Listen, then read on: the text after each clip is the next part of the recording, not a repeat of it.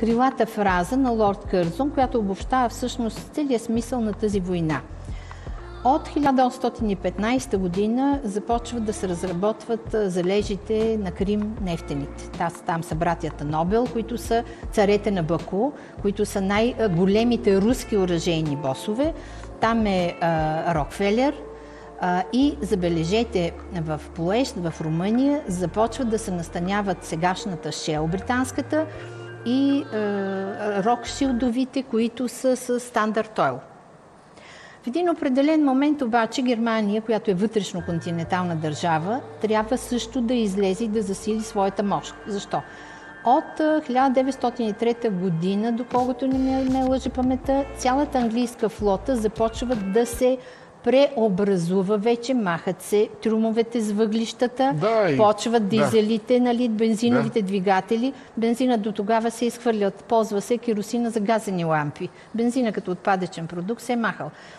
Знаете ли каква огнева мощ е това? Защо? Ми, защо трумовете до сега са вземали място, сега могат а, вътре да има снаряди и да има въоръжение. А, няма пушек, не могат да те проследят отдалече. Няма нужда от пристанище, за да се зареждаш. Идва танкер и те зарежда в води. При това трумовете са се пълнали седмици наред. Той през това време разузнаването работи. Значи, англичаните имат тази способност да се модернизират бързо. Германия изостава. За какво ще се бори тя? Тя ще се бори за петрол. Защо? Ми за да имаш танкове, за да имаш самолети, ти трябва да имаш бензин. Откъде? Германия няма. Единствените нефтени находища в Европа са горе Норвегия и е, Полша. За какво мислите, че разделят Польша 1830 година?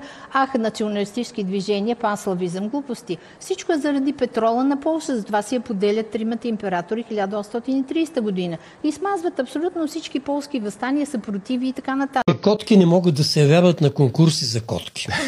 Жалко ми е за котките. It's the story of a place called Muxland. Most land was a place where all the little mice lived and played, were born and died. And they lived much as you and I do. They even had a parliament. And every four years they had an election. They used to walk to the polls and cast their ballot. Some of them even got a ride to the polls. Got a ride for the next four years afterwards, too just like you and me. And every time on election day, all the little mice used to go to the ballot box and they used to elect a government. A government made up of big, fat, black cats. Now, if you think it's strange that mice should elect a government made up of cats, you just look at the history of Canada for the last 90 years, and maybe you'll see that they weren't any stupider than we are. Now, I'm not saying anything against the cats. They were nice fellows. They conducted the government with dignity. They passed good laws. That is, laws that were good for cats. But the laws that were good for cats weren't very good for mice. One of the laws said that mouse holes had to be big enough so a cat could get his paw in. Another law said that mice could only travel at certain speeds so that a cat could get his breakfast without too much physical effort. All the laws were good laws for cats. Oh, they were hard on the mice and life was getting harder and harder. And when the mice couldn't put up with it anymore, they decided something had to be done about it. So they went en masse to the polls. They voted the black cat out. And They put in the white cat. The white cat, the white cat had put up a terrific campaign. They said oh, all that Mouseland needs is more vision. They said the trouble with mouse land is those round mouse holes we've got.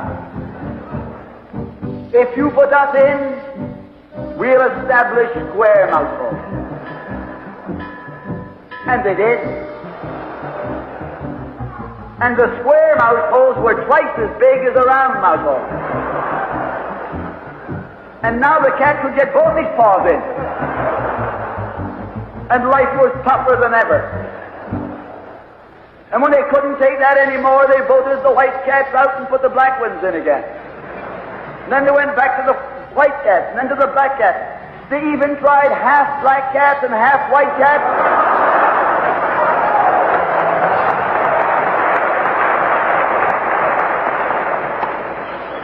And they called that coalition.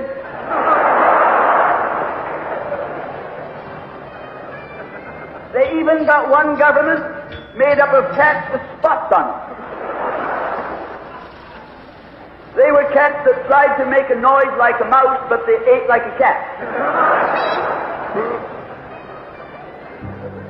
You see, my friends, the trouble wasn't with the color of the cat. The trouble was that they were cats. And because they were cats, they naturally looked after cats instead of mice. Presently, there came along one little mouse who had an idea.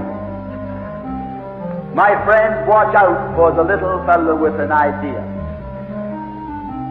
And he said to the other mice, Look, fellas, why do we keep on electing a government made up of cats? Why don't we elect a government made up of mice? Oh, they said he's a Bolshevik. Lock him up. So they put him in jail. But I want to remind you that you can lock up a mouse or a man, but you can't lock up an idea.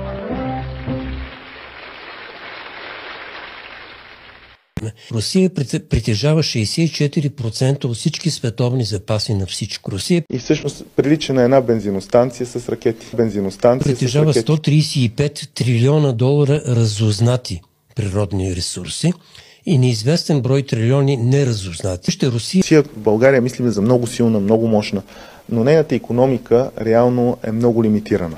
Тя, ако я погледнете Русия на, на световната карта като част от световната економика, тя е съвсем мъничка. Ако нарисувате картата на, на, на света с економиката, тя е съвсем мъничка и де-факто какво има Русия? Винаги е била самодостатъчна. Това е запас на планета. Ако ние изпукаме, Руснака може и да не забележи това. Руснака е достатъчен за самия себе си. Руснака ще ви каже обикновено руснак, че Запад е надясно от мене, а изток е наляво от мене. А аз не съм нито Запад, нито изток. Светът вече не е еднополярен. Светът вече е триполярен. And welcome to Tucker Carlson. Tonight, you wonder if looking backward many years from right now, historians will notice the remarkable coincidence in timing. Have you noticed? Here it is. At exactly the moment when the emergency powers they awarded to themselves to fight COVID started to wane, our leaders began pushing for conflict with Russia. And then, on the basis of that conflict, they assumed historic war powers. Hmm. Without even pausing, the Biden administration declared total economic war on a sovereign country. No American had been killed. The United States had not been invaded or attacked. And yet, with no meaningful public debate or congressional authorization, the Biden administration destroyed that country's currency, then removed it from the international banking system that impoverished its population. Then the administration began seizing the property of people affiliated with that country without a trial or due process of any kind, without even bothering to explain exactly what crime they had committed. No American government had ever done anything like that before. If there was one thing the U.S. government long stood for, it was the rule of law. The integrity of the system was always the most important thing. But not anymore. That turned out to be an era, and that era is gone. На вашите екрани е карта на американските военни бази по целия свят. Забелязвате ли колко са много и как обграждат Русия? 750 военни бази в над 80 държави. Това са само публично признатите. Кой знае още колко се пазят в тайна? Ето на вашите екрани базите на Русия в световен мащаб. Значително по-малко и разположени в нейна близост. Само в Европа има над 100 американски военни бази. Защо? Какво търсят тук? Тяхното оправдание е НАТО. В момента единственият буфер между Русия и НАТО са Украина и Беларус. Влезе ли Украина в НАТО, каквито са всъщност намеренията, Русия губи позиции и така реално американците им стигат до задния двор. Така че тук от една страна можем да разберем опасенията на Путин. Пък и обещанието на Алианса от 90-те години да не се разширява дори инч на изток не е спазено и при балтийските държави са анексирани. Какво ги бърка САЩ и защо и в този случай си бутат носа, както навсякъде другата по света? Сигурно това е въпрос, който много от вас си задават. Ами малко като се замислим, те биха имали най-голяма изгода от цялата тази ситуация. Първо, една война в Европа би спасила до някъде така и така затъващата им финансово държава. Знаете ли колко е външният им дълг? В края на миналата година надхвърли 30 трилиона долара. Второ, прекъснат ли зависимостта на Европа от Русия, ще ни направят зависими от тях. Говори, разбира се, за газа и горивата. Сигурно знаете, че горе-долу половината от газопроводите към Европа минават през територията на Украина. Въпреки военните действия обаче, гъста и през Беларус си тече с пълна сила към Европа. Бизнесът си е бизнес. Германия упреква действията на Путин, но въпреки това продължава да си цоца газ. Скъпи приятели, зависимост. Това е ключовата дума тук и вероятна причина за всичко. Европа си е зависима от Русия и Путин иска да продължава да е така. САЩ пък естествено на своя страна искат стария континент да е зависим от тях, чрез доставки на горива и стоки. Затова с години Запада налива масло в огъня в онзи регион и просто стоят и гледат мача. В крайна сметка войната е економическа и отново са намесени пустите му пари. Зеленски, президентът на Украина, не крие американските си наклонности и през последните месеци и години демонстрира доста антируско отношение в държавата си, в която огромна част от населението са етнически руснаци. Сега, това е са промити мозъци не само в България, но и в Европа. Защо? Световният капитал, глобалния, не обича националната държава. Той затова там удря. Националната държава му пречи. Националната държава иска да има изградено общество, което е възпитано, което е културно, което се държи в нормите на закона. Всичко това не може да се случи, ако глобалният капитал не ликвидира националната държава и нейната ценностна система. Те за това там удрят.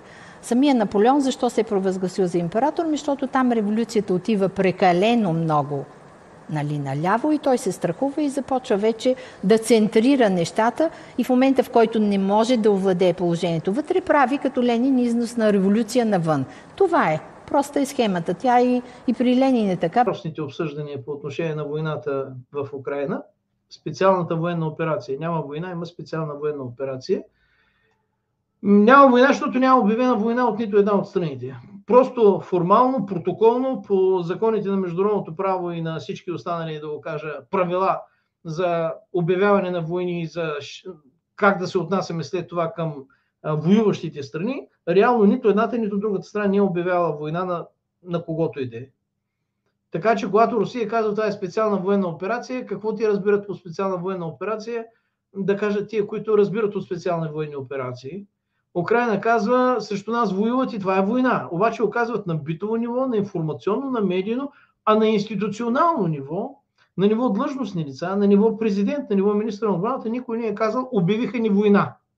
Или щом не са ни обявили война, но са ни нападани, ние поне тогава да обявим война. Никой нищо такова не е казал. И съм сигурен, че този пропуск не е случайен, защото минаха 20, колко дена? 29 дена, утре ще станат точно един месец. Така че за 29 дена освен цялата там суматоха и неразбори, ако искаха, можеха да, нали, да обявят една война, поне от своя страна. В край на крещата, изхода от, от тези военни действия изобщо не е очевиден и изобщо не се знае дали големия ще победи по-малкия, така макар и формално погледнато, географски погледнато, защото историята познава много войни, при които не винаги големия и силния, който е започнал да би някакъв по-малък, без значение какви са мотивите и прочее, успява да завърши успешно този побой. Аз си спомням поне един така драстичен пример. Китай нападна 79, 79 година Виетнам. При това Виетнам още буквално не се беше съвзел от Американската война, която продължи да 10 години на жестоко изтощение. И въпреки това виетнамците яко се озъбиха на китайците. Погледнете на карта Виетнам и Китай, и си представете за какво става дума. Озъбиха се на китайците, воюваха мъжки и смело, сражаваха се до последно и Китай не, не можа да спечели нито един квадратен сантиметр виетнамска земя и се върнаха на където са си дошли и точка и войната приключи без победа за Китай, без загуба за Виетнам. А погледнете мащабите, вижте количеството население и си представете просто едната страна воювал до последния ден преди това 10 години на изтощение с най-голямата военна сила в света, Съединените Американски щати, и да напада другата най-голяма поне количествено или първата най-голяма количествено страна Китай. И вместо да, оле ли бошки, дай да се предадем, ужас, вече изгоряхме, мила моя майно, не, не, не, сражават се хората. Сражават се, бе. Че си почитание. Героичен вьетнамски народ. Искам да видя и български народ с такъв героизъм. Защото смятам, че сме го показвали, доказвали, исторически го имаме записан, само днес, където нещо, трудно се намират такива последователи на тези исторически записи, които не е просто да ги знаят, а да са готови да ги повторят. Що сме генетически наследници на точно тия бойци, победители, радетели, ратници, които са спасявали, защитавали, отстоявали тази татковина, това отечество, тази родина, днес нещо има, има такива, които призовават да отидем да се сражаваме срещу руснаците, ама на страната на Украина, не в България, не за България, там, там, там, там да се сражаваме. И много врязкат и кряскат. Нито един от тях не тръгва. Нито един от тях не тръгва. Бронежилетки, каски, противогази, билет, всичко осигуряваме. Кажете хора, че тръгвате, бе. Мирчев, Кирил Петков, а, а, кой там беше? Христо Иванов. Всички, които искате, Атлантическия съвет, целият, тръгвайте, кажете, бе, хора. Кажете, че сте поне малко момчета да ни кажа мъже, тръгвайте бе, осигуряваме го. Ей сега събираме тук пари, средства, каквото кажете, заминавате. Само кажете, че искате. А, не, не, не, България трябва. Коя България, бе? Вие не сте България, че ще казвате България трябва. Айде да правим един референдум в България да видим кой е за, кой е против.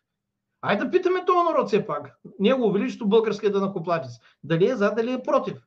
И за кого е за, и за кого е против. Или смята, че трябва да се налягаме парцалите и да се грижиме там само за нашенците, които са много. Българите в Украина са третия по количество народ в Украина. След руснаци и украинци ние сме третите. След нас са румънци, след нас са унгарци, след нас са словаци, ако има, след нас са поляци, около 50 хиляди, след нас са всички. Ние сме най-многото, трети по количество. И няма да се замислим да, да помогнем на своите, трябва да отидем там. Които казват, че трябва те да отиват. Аз не казвам, че трябва да отидем да помогнем на Русия. Аз казвам, че ние трябва да помогнем на българите. Също казва и Костадин. Също казват и всеки, всички разумни хора, в това число и на Битол Нюс, които съм разговарял, че ние нямаме работа там с оръжие в ръка, където ни блъскат обаче, където ни умърляха в цялата тази каша в момента. Но, както и да е, това беше една дълга забележка, защото честно казвам не мога да се съдържа, когато наистина, наистина вече са ни запалили черката и е крайно време да се изгасим, като изгоним това правителство и поправим, изгасиме това, което може да бъде изгасено преди да е пламнало всичко. Защото вече горим.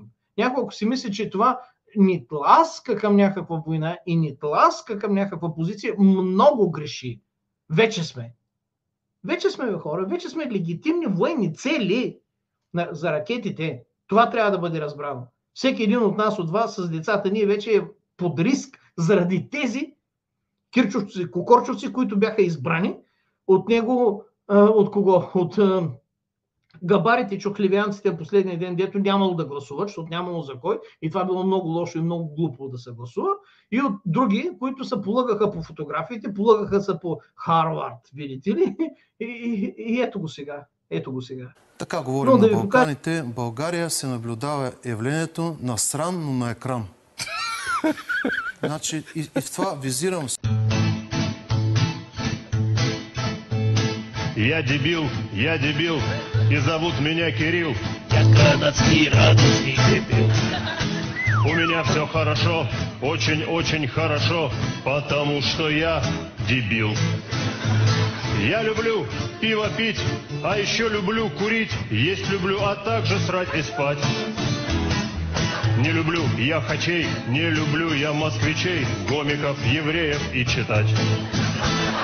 У меня есть бабы две, обе бабы так себе, обе мне дают, хоть я дебил.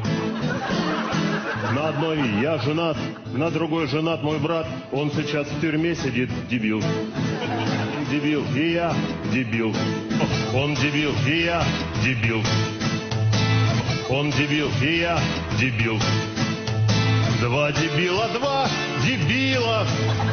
Два Кирилла, два Кирилла. Два Кирилл Кириллыча, два Кирилл Кириллыча, два Кирилл Кириллыча Кириллова.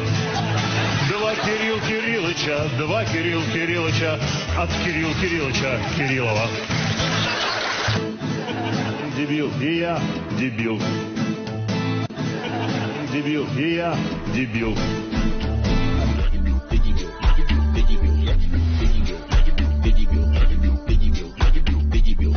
Дебил, и я дебил. Он дебил, и я дебил. Два дебила, два дебила. Два Кирилла, два Кирилла. Кирилл Кириллыча, два Кирилл Кириллыча, два Кирилл Кириллыча Кириллова. Два Кирилл Кириллыча, два Кирилл Кириллыча от Кирилл Кириллыча Кириллова. Киро, Киро, не дейте, бе,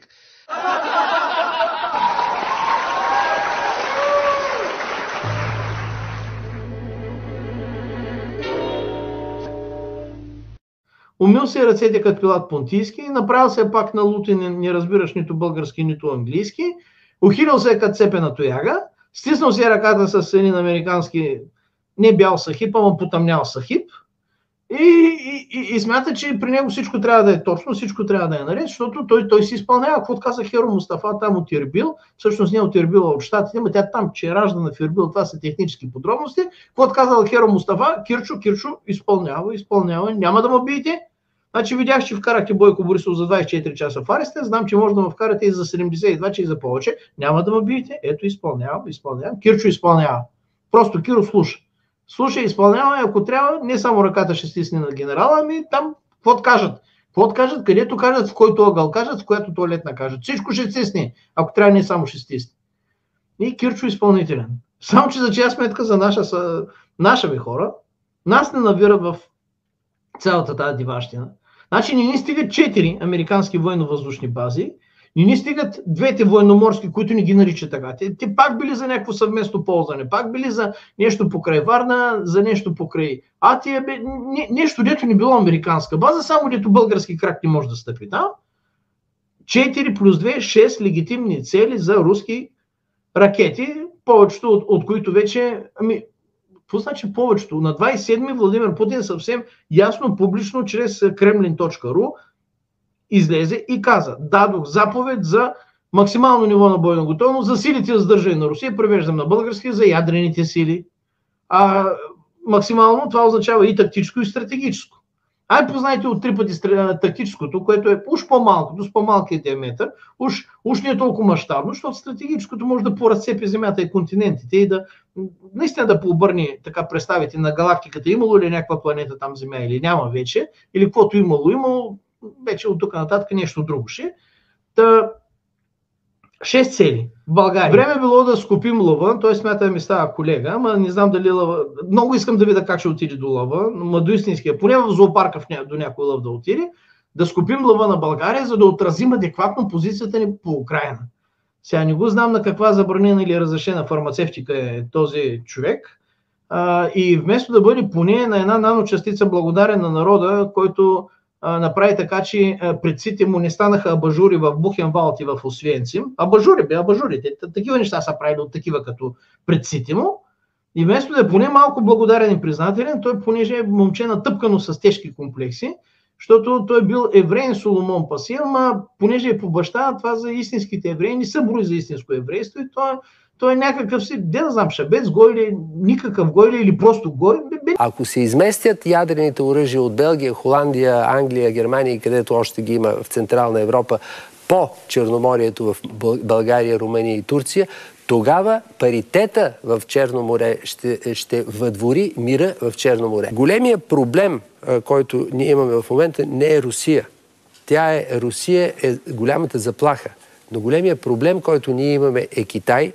А това, което искам да кажа на това и на всяко следващо българско правителство е, че ако ние искаме да реформираме държавата си, трябва да имаме воля да реформираме Европейския съюз и НАТО. Какво правим с Китай? Голямата задача на, на Запада в отношенията му с Китай е създаване на алианс, военно-политически алианс между Запада, сиреч НАТО Доцент и Индия. Батев. А, той е информиран човек, аз подозирам, че той е прав. Склонен съм да се облегна на неговото знаещо мнение. Вика, не ме питайте изобщо за Соломон Паси. Той е обикновен извънземен. Дай, дайте си говорим за хората. Соломон Паси е обикновен извънземен. Сега, тук какви въпроси да има и какво да очаквате и какво да искате от такъв човек, какво да ме разпитвате и какво да го анализираме. Обикновен извънземен. Майната му на православието нямало проблеми. Сега тук ще да скупява български лове. Ами, един приятел днеска написа, че го време и внимание смятам, че наистина не заслужава нито вашето, нито моето. Затова... Къде всъщност са, е, са бъдещите стратегически планове на Русия? Северния полюс ледниците се топят битката голямата ще бъде за Северния морски път след години. Защо? Ами, две трети от морския път Северния е на руска територия. давате ли си сметка колко пари ще бъдат това за самата държава? И, и второто той е по-кратък, да. Така. И второто, не, тя ще държи цялата търговия през Балтика и ще я контролира Русия, която ние все така пренебрегваме и малко я подценяваме, играйки на парче. Това е проблем на нашата политика. Ние всичко правим на парче. И забележете от този ден какво стана. 12 милиарда ще инвестират, за да разширят канала Волга-Дон. Тоест, те насочват Волгадон към бъдещия Северен морски път. След това ще инвестират през Кавказ, воден път, през Иран, директно в Индийски океан ще ми каже някой какво става с Суетския канал. Ми той заминава чисто економически. Той ще замине. Представете си този огромен воден път, защото следващата битка между големите геостратегически играчи ще бъде точно за морските пътища, защото те контролират и военните насоки. И когато се отвори, защото ледниците се тупят бързо, няма да има нужда от ледоразбивачи, търговията там и трафика ще бъде целогодишен, не е като сега да, да замира. И в един определен момент Северния морски път ще го контролира Русия.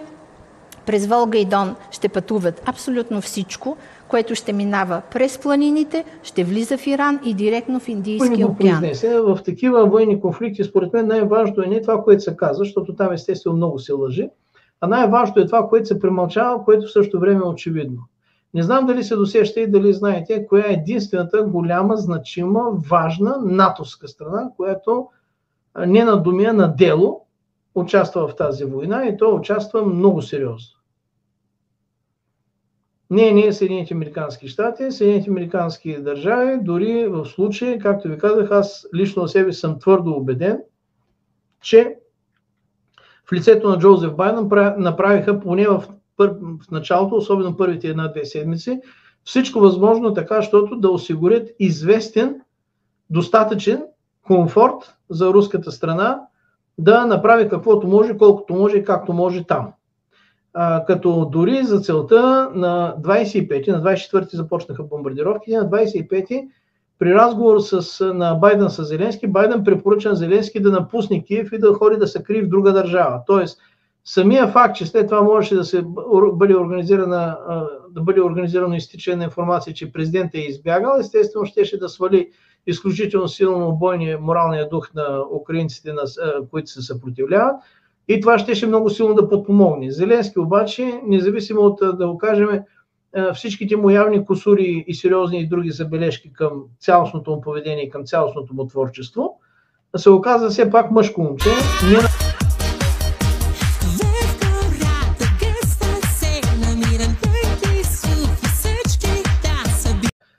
Позициите постоянно дава интервюта, както от, от метрото, защото така наречения бункер, той е едната от станции на, на киевското метро, която е специално за това направена, за укритие направена.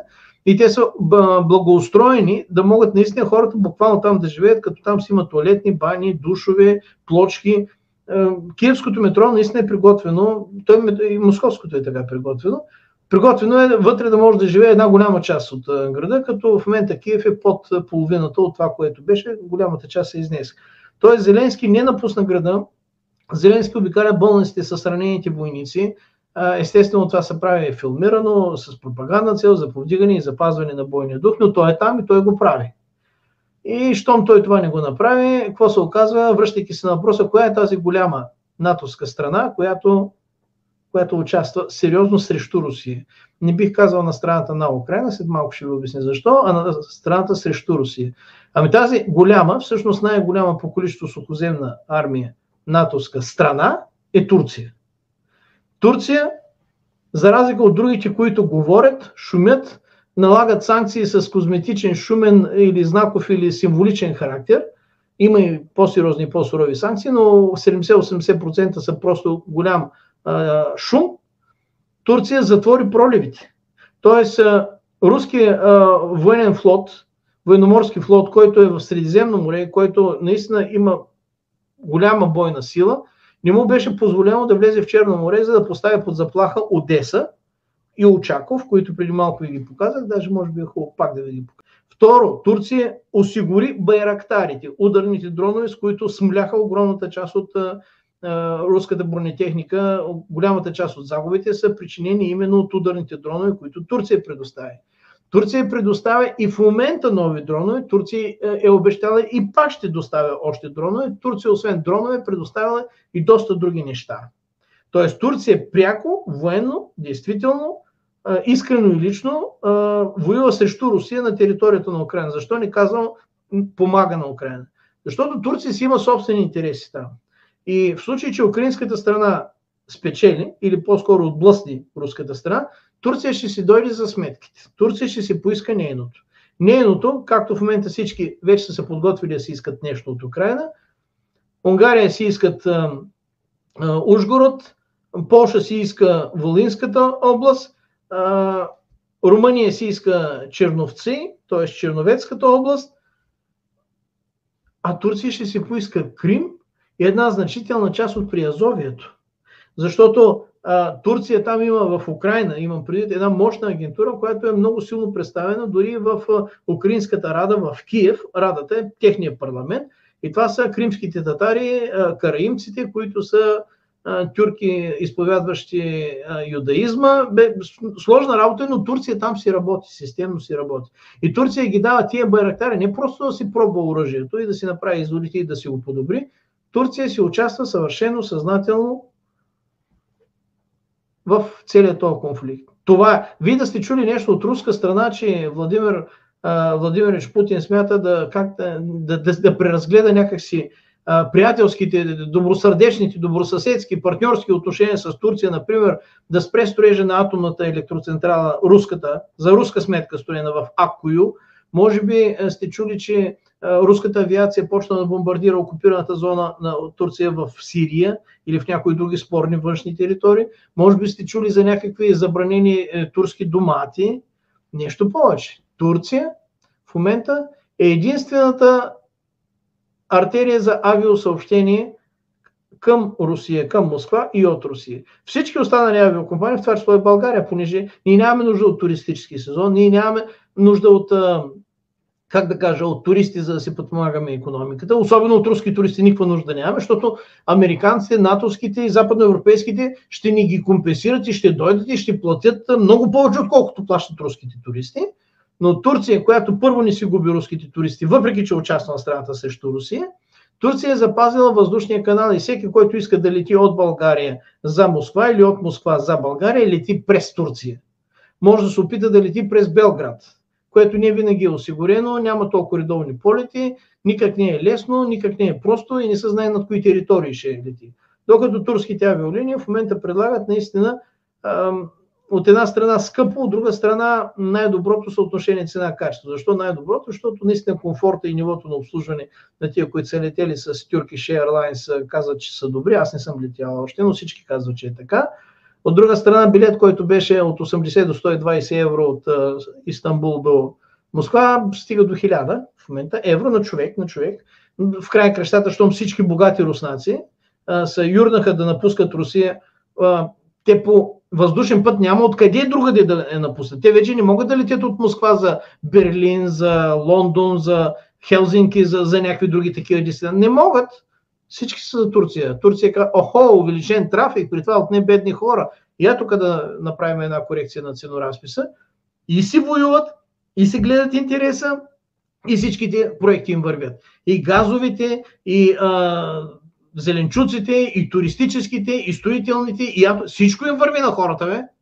Като имат лице от мъжки политически пол, който аз лично много не харесвам, защото, има няк... защото той има нездрави апетити и към моята родина България, но не мога да ни признае, че е лице от мъжки политически пол. Когато има лице от мъжки политически пол и във война и в мир, той изсежда в защита на турския национален интерес от Русия и от всяка една друга страна, толкова колкото може и продължава да стиска, докато колкото пуска. В момента изтисква и Украина. Така че ако някой каже Турция помага на Украина, дай се разберем кое е помощ. Помощ е да дойде безкорисно нещо да направи за тебе. Прямо както, айде да не давам примери, защото нали, дълго ще стане. Турция си е направила сметката. Изобщо не се съмнявайте. Турция участва в тази война с оръжие от преди ден първи, след ден първи, днес и утре ще продължава да участва до края на тази война и няма да загуби една стотинка, една копейка, една рубла, защото нали, Владимир Путин от днес каза, че айде сега от тук нататък всички, дето искат да купуват а, нашите енергийни източници, защо да правят търговия с нас, да си приготвят рубли. Това, между другото, е много красив и много популярен и много така ободряваш ход и заявление, само че, как да кажа, тук има няколко чисто функционални неща, които огромната част от хората на първо четене не довиждат. Не довиждат и недооценят. Почти всички договори и на Газпром, и на Роснефть, и на другите енергийни компании вече са сключени на фиксирана цена за определен период. Тие, на които им изтичат договорите, като ние, които казваме чрез Кокорчо Асен Василев, че нямало да ги възобновяваме с Газпром, защото сме щели да ги носим в куфари и в раници от някъде другаде тия газовите находища – тия, като нас трябва да, да го мислят сега гайлето, откъде и как ще купуваш рубли и как ще разплащаш. Ама останалите, като Германия, като другите големи оператори, те си имат фиксирана цена. И може на днешна цена, цената на гъста да, на борсите да е 1000, 2, 3 или даже ако иска 4000 долара, те си имат договор за фиксирана цена за едно количество време до 2023 година, да речем, за 300 и нещо долари и по тази цена си го получават. Тия моментните колебания, те касаят тия, които сега ще сключват договори а не тия, които вече имат договори, които договори се изпълняват. Така че предупреждението гответе си рубли, купувайте си рубли, то е произнесено днес, но то не започва да действа за никой от тези, които са си в заварено положение. Огромната част, с изключение такива като България 10 няколко месеца, наистина може само да, да, да се чуем откъде да ги купуваме тия рубли. И, и, и тогава вече думата рубладжия в България ще има малко по-друга конотация. Аз си признавам, че съм рубладжия, защото няма как да не съм, понеже руската ми фирма оперира с руски рубли, понеже е руско юридическо лице. Доходите, заплатите, данъците и приходите, всичко там ми идва в рубли, което в момента е малко така неудобна и нестабилна валута, но това е положението. Така че ако някой ми каже рубладжия, той просто описва една обективна реалност от десетилетие. Това е начинът по който нашата фирма там оперира. Другия въпрос е, че освен с това презрително съскане рубладжия, което психодесни умно, гранто мотивиран умно красивитет, центово мотивиран умно красивитет. Чака, като чакали и като хиени там да ръфнат, да им дадат, да им хвърлят нещо, ние там от посолствата, от НПО-тата, и, и, и те ще станат рубладжи. И, и, или ще почне да мрънкат, да хъкат, да мъкат, ама може ли все пак някакъв договор, защото ви разправяше това Мирчев, ако ви пуснете светлината у вас и ако си пуснете парното или нещо друго, е, вие в момента пълните касичката на Путин да убива украински лица. Много ми е интересно а, кадъра Мирчев, който ги препоръчва тези неща, дали в момента живее в землянка, дали, дали се отоплява неекологично дърва, въглища и на други подобни съчки, как изобщо решава въпрос. Или просто героически студува, мръзне, на тъмничко, на свещи, на свещи, дядо папе, на свещи, на свещи. Ако Бирчев ги спазва тия работи и точно по този начин вече е започнал да живее на първо-второ технологично ниво, някъде в сламени коливи, там е екологично издържано, Тогава ще му повярвам, на, ще кажа, да, това е човек, който слага знак за равенство между думи и дела, или поне знак за подобие. Но като го гледам така, малко ме съмнява и някой, който го познава или който му е ходил на гости днес, вчера или ще му ходи утре, други ден, да каже дали от тях е тъмно, дали от тях е студено, да, да, да каже, да сподели някакси. Любопитно ми е дали и той налива а, пари в касичката на Путин, за да убива украински деца. Много ми е любопитно. Между другото, Газпром в момента продължава трансфера именно през Украина. Украина продължава да си плаща за гъста и Украина продължава да си иска парите за транзита и ги получава. Тоест в режим на не война, а просто на специална военна операция – бизнес отношенията между големите корпорации на тия две воюващо, специално воюващи страни си продължават и си вървят, бе.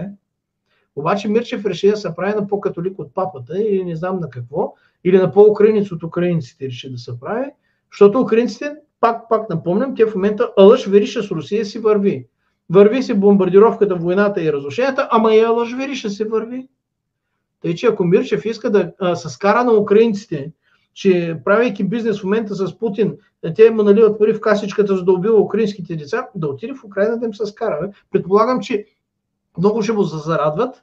А, така ще седнат прилежно, тихичко, ще слушате, записки ще си правят и каквото Мирчев каже, всичко ще отидат и на Зеленски. Ето, но нов консултант имаш, нов консултант имаш, Владимир Александрович, ето да го слушаш, защото това момче от България много ги разбира нещата. Дай да почнем да го слушаме, защото иначе, иначе наливаме пари в касичката на Путин. Владимир Александрович, ето го, Мирчев, тук дойде от България, така вика момчето, тук НАТО, тук Евросъюза, значи, що ми идва от там, той почти отъркал се някъде около белите сахибита, носи тук нещо отъркано да ни го израси на нас, като, като светен прах, може би, нещо такова.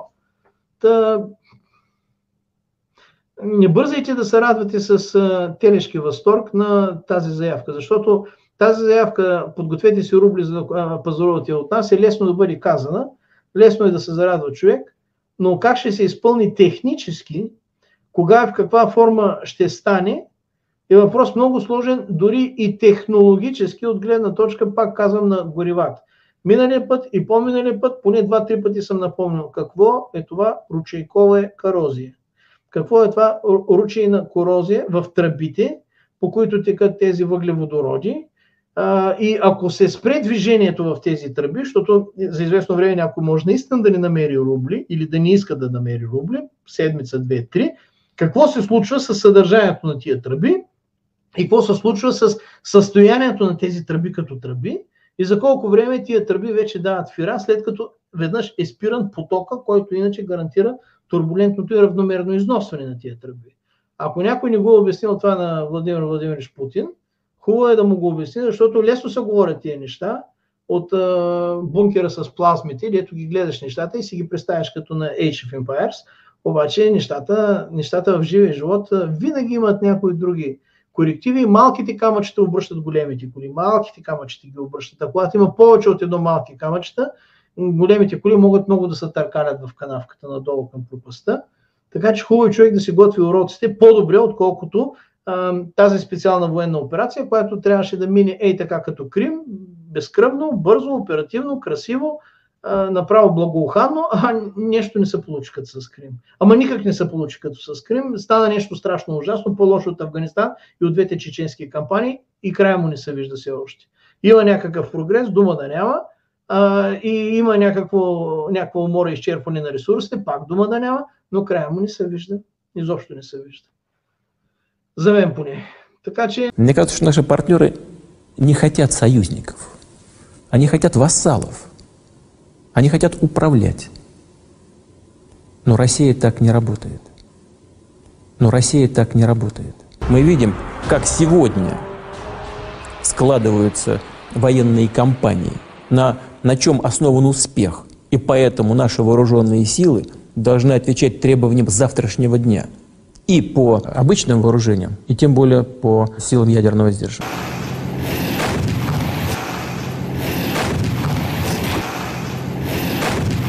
Замедленной съемке видно, что выстрел происходит в момент, когда танк находится еще на трамплине. После выстрела он пролетает расстояние около трех метров при приземлении, едва не цепляя днищем землю. Но тут снова срабатывает торсионная подвеска, подбрасывая танк еще на один прыжок. Ни у кого не должно быть иллюзий относительно возможности добиться военного превосходства над Россией. Мы этого никогда не допустим. Получен приказ, вводим приказ. Спускаю секундомер. Выдаю в адрес пусковых установок донесения. Межконтинентальная баллистическая ракета «Воевода» способна доставить ядерный заряд на расстояние до 16 тысяч километров, то есть до любого континента. Наше оружие возмездия – это 8 мегатонн в тротиловом эквиваленте. Для агрессора, напавшего первым, такой ответный удар будет означать только одно – верную гибель с полным исчезновением в пространстве. По всем параметрам это самый мощный боевой ракетный комплекс в мире. Американцы так настойчиво продвигают в Европу свою ПРО именно из-за «Воеводы», хотя официально заявляют, что боятся иранских ракет. Теперь что получается? Иранская ядерная проблема уходит, а система ПРО остается. И не просто остается, а получает свое дальнейшее развитие. Мы, мы внимательно следим за развитием так называемой, так называемой концепции обезоруживающего мгновенного глобального удара. Есть такая концепция и активно развивается. Ни у кого не должно быть иллюзий относительно возможности добиться военного превосходства над Россией. Мы этого никогда не допустим. Hold on a minute. Sir, can somebody help me? Jim, Jim. I got Yeah. I got You okay? Okay, I'm gonna sit you down. Can I get a chair? Yeah, chair. Ми както Русия се бие за Карси Батум и по време на освободителната война, а Балканския фронт е само за да ангажира част от турските сили и тук да се бият, и тук да са а, сблъсъците, колкото да, да отклони част от османската армия. Целта е Кавказ, целта не е Балканите. Какво ще вземат от Балканите? Балканите са бедни. Има един трафик на наркотици и, и, и до там. Но той си функционира, трафика на наркотици и без големи войни.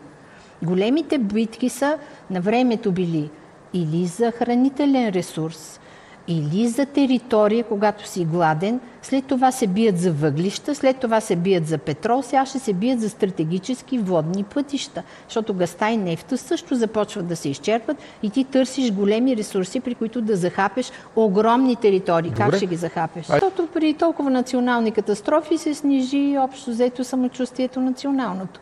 И ние каквото ни свирнат отвън и който ни размаха пръст, ние се сгушваме и се свиваме. Не забелязвате ли, че ние нямаме постоянна трактовка историографска. Дойде марксистска школа, пренаписваме. Дойде не знам каква си, пренаписваме. Хайде сега соросоиди всякакви ни диктуват какво може да пишем и какво не може. Ние отново пренаписваме. Защо? Ами защото нямаме точно това национално самочувствие, което да се отрази върху устойчив прочит на нашата история. Между прочим, на нас това ни го натякват непрекъснато. Никой не си дава сметка, че едно фундаментално решение на даден научен въпрос работи за бъдещето. Всеки ти казва ти колко пари донасяш в момента.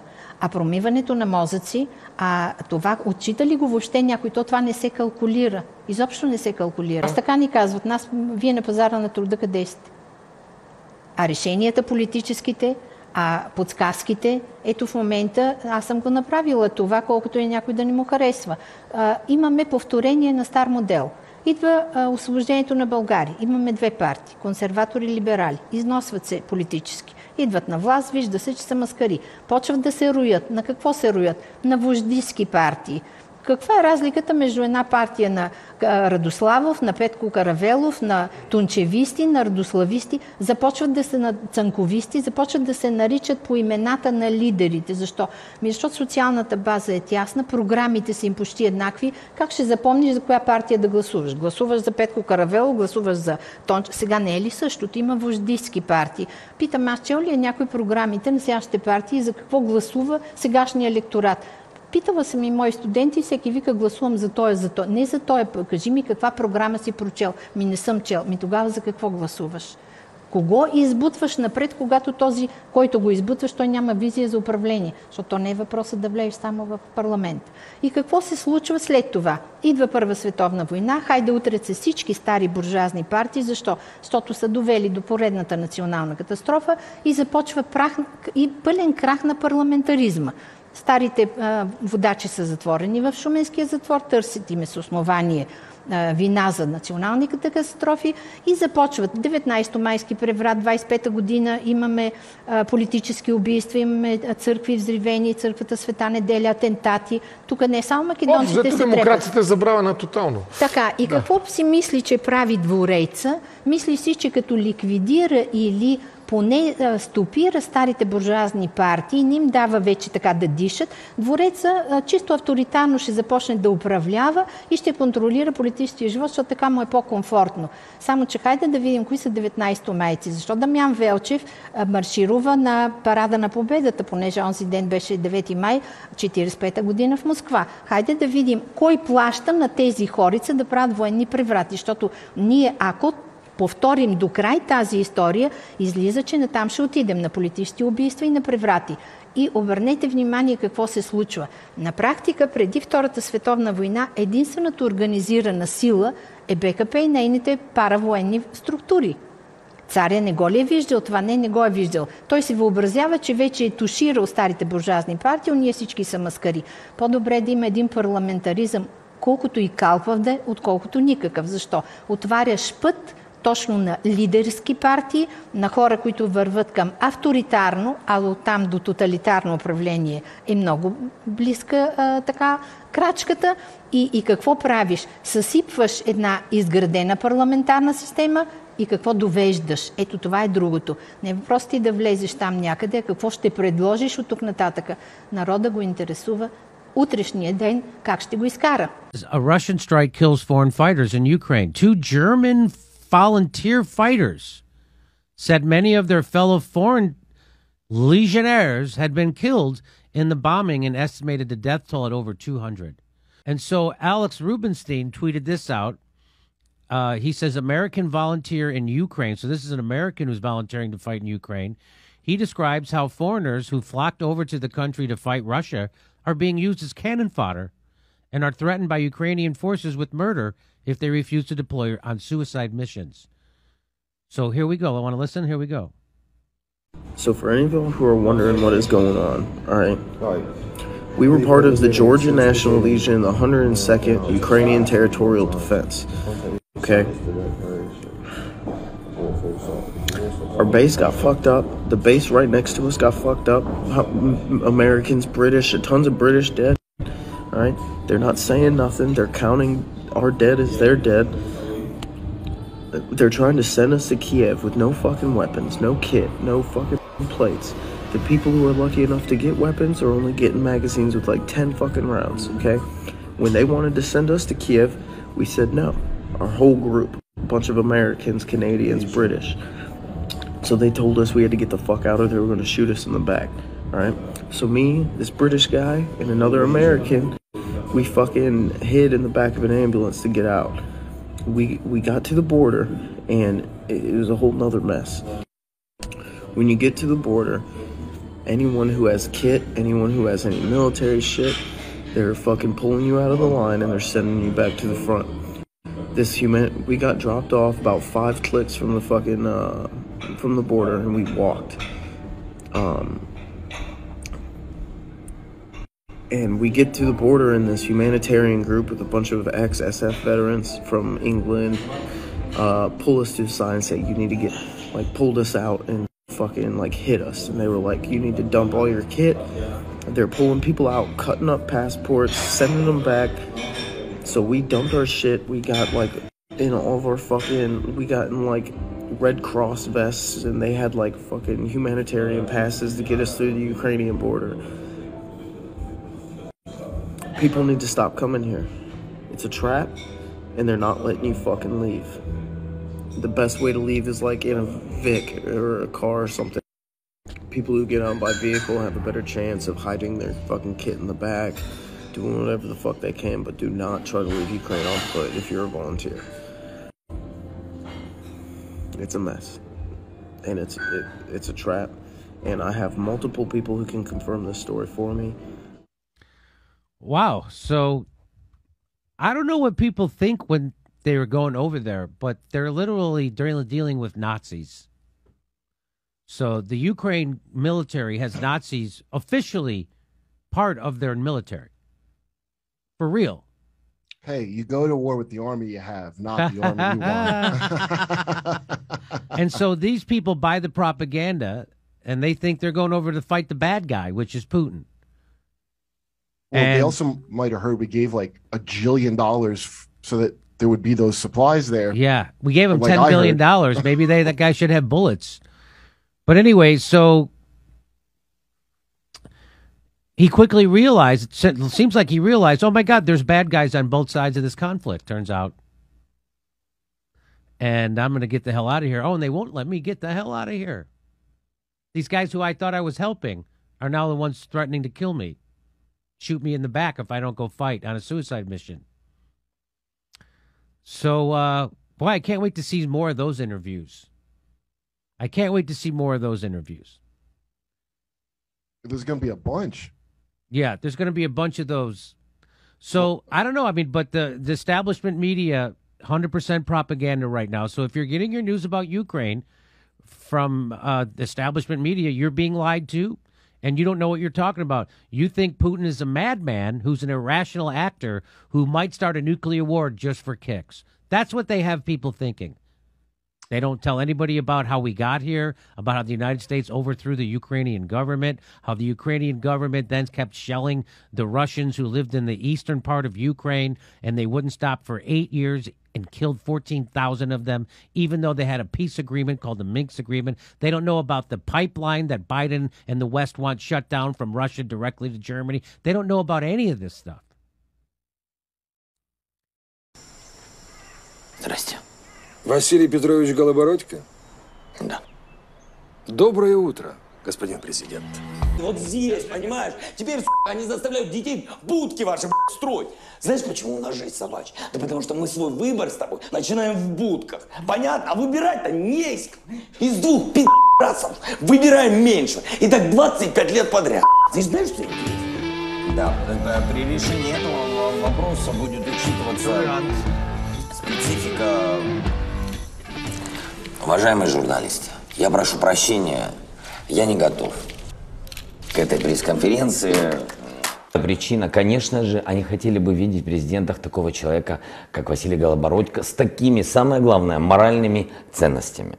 А второе, э, конечно же, это а, ответ всему политическому истеблишменту. А, а Люди хотят что-то новое. для того, щоб Україна була об'єднана, щоб Україна була захищена, щоб безпека України не ставилася під питання. Прийшли до висновку, що цілісність України і єдність Я никакая не игрушка в руках Коломойской. Не был бы игрушкой, э, честно говоря, ни, в руках ни одного из этих людей. If you're a, a man of principles, yes. why are you working for a man who the anti-corruption authorities say has stolen all this money from the people of this country? Все каналы у нас принадлежат олигархам. Все крупные предприятия принадлежат этим группам. Получается, что мы все люди в Украине, 40 миллионов людей без принципов, мы все работаем на этих предприятиях. Мы адекватные люди.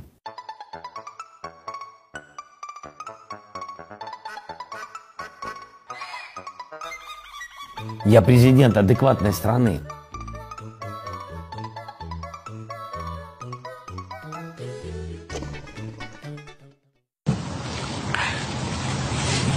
Правителството няма да е в състояние да го опровергае. Не, не, стига с това правителство. Населението стига да се е оправдало с правителството, с капитализъм, социализма и четирите годишни времена. Все някой друг му е крив. Накалпава ракета, космоса му пречи, нали знаете? Да. Да. Но Но не смят- работа иска гръбнак, иска смелост, човешка най-вече. Иска и акъл, между другото, освен всичко останало. Ако ги имаме всичките тези неща в някаква комбинация, можем нещо да направим, защото приказката, че от нас нищо не зависи, е другото извинение на страхливеца. Неволята учи. М, точно така. Ще ни докара ли до там? Може, но аз е, не изповядам и тая поговорка на нашите комши и турците на българина да му има втория къл, дето му идва след това. А да се водим от първия вече. Ние рядко сме се водили, но успешно. Да, аз за сметка на това си мисля, че трябва да сложим друг девиз на Народното събрание на фронтона. Не да бъде Съединението прави силата, а каква мислихме, каква стана. Да. да. Това след всеки избор е актуално.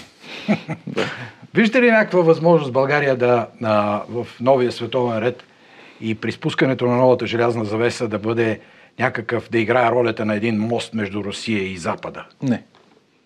Това си говорим честно.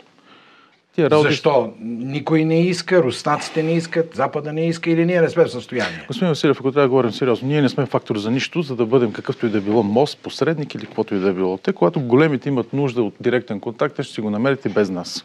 Това първо. Второ, до нас има поне една сила, пак тая същата Турция, която играе много по-сериозна роля в това отношение. Тя вече предложи и реализира посредническите си услуги. Апропо, най-големите бенефициенти от създалата се в момента ситуация са Китай и Турция. Китай в глобален план, Турция в регионален план, тъй като Китай ще, както се казва, ще инкасира големи економически ползи от, както вие казахте, желязната завеса, а Турция ще реализира такива економически, политически и всякакви други ползи в локален мащаб. Това, на което ние присъстваме, в което участваме, то не предстои. Ние вече сме в този процес. Той е мащабен, грандиозен, даже не си даваме сметка за неговата дълбочина.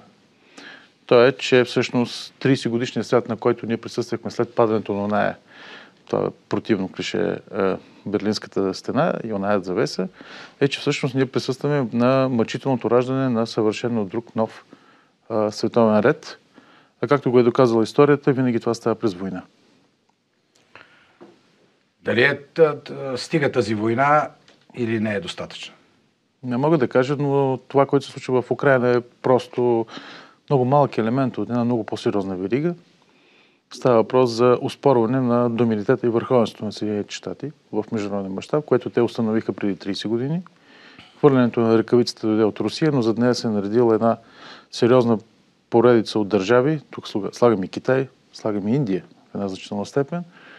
доста амбивалентно поведение на Латинска Америка, най-вече на Бразилия, и частично на Аржентина, ясно показва, че м- има твърде много недоволни с ресурси обаче.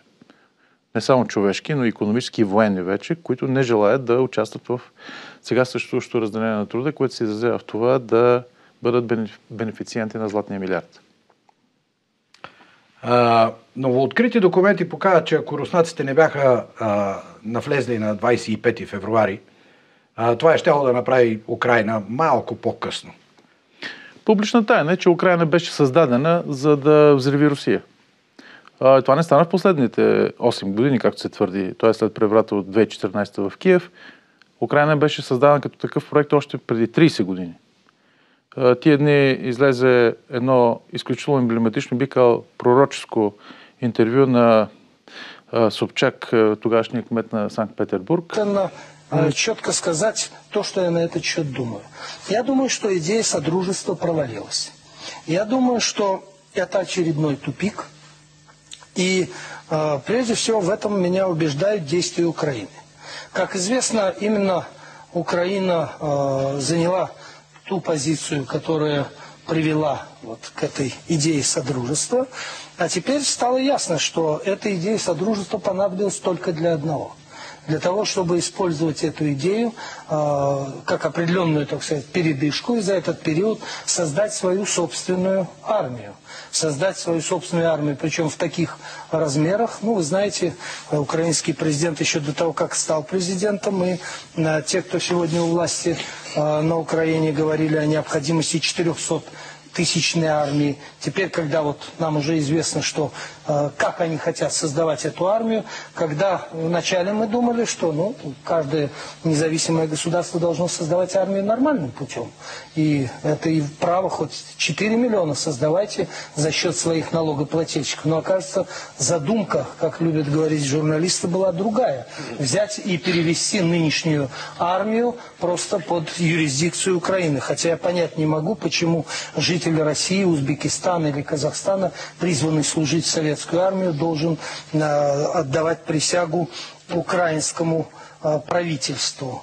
И более того, я считаю, что сегодня мы получили наиболее опасный симбиоз.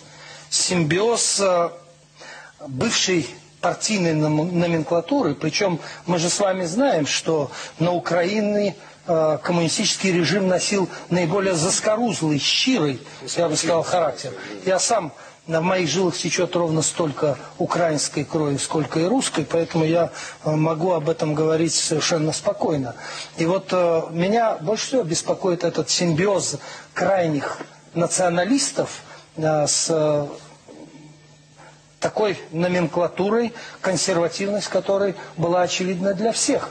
А сегодня они э, очень быстро нашли друг друга. Если вы обратите внимание, на, в речах э, руководства нынешней Украины ни э, слова о правах человека, о правовом государстве, они все начинаются и заканчиваются словами о независимости. И теперь мы видим, какую именно независимость они избрали.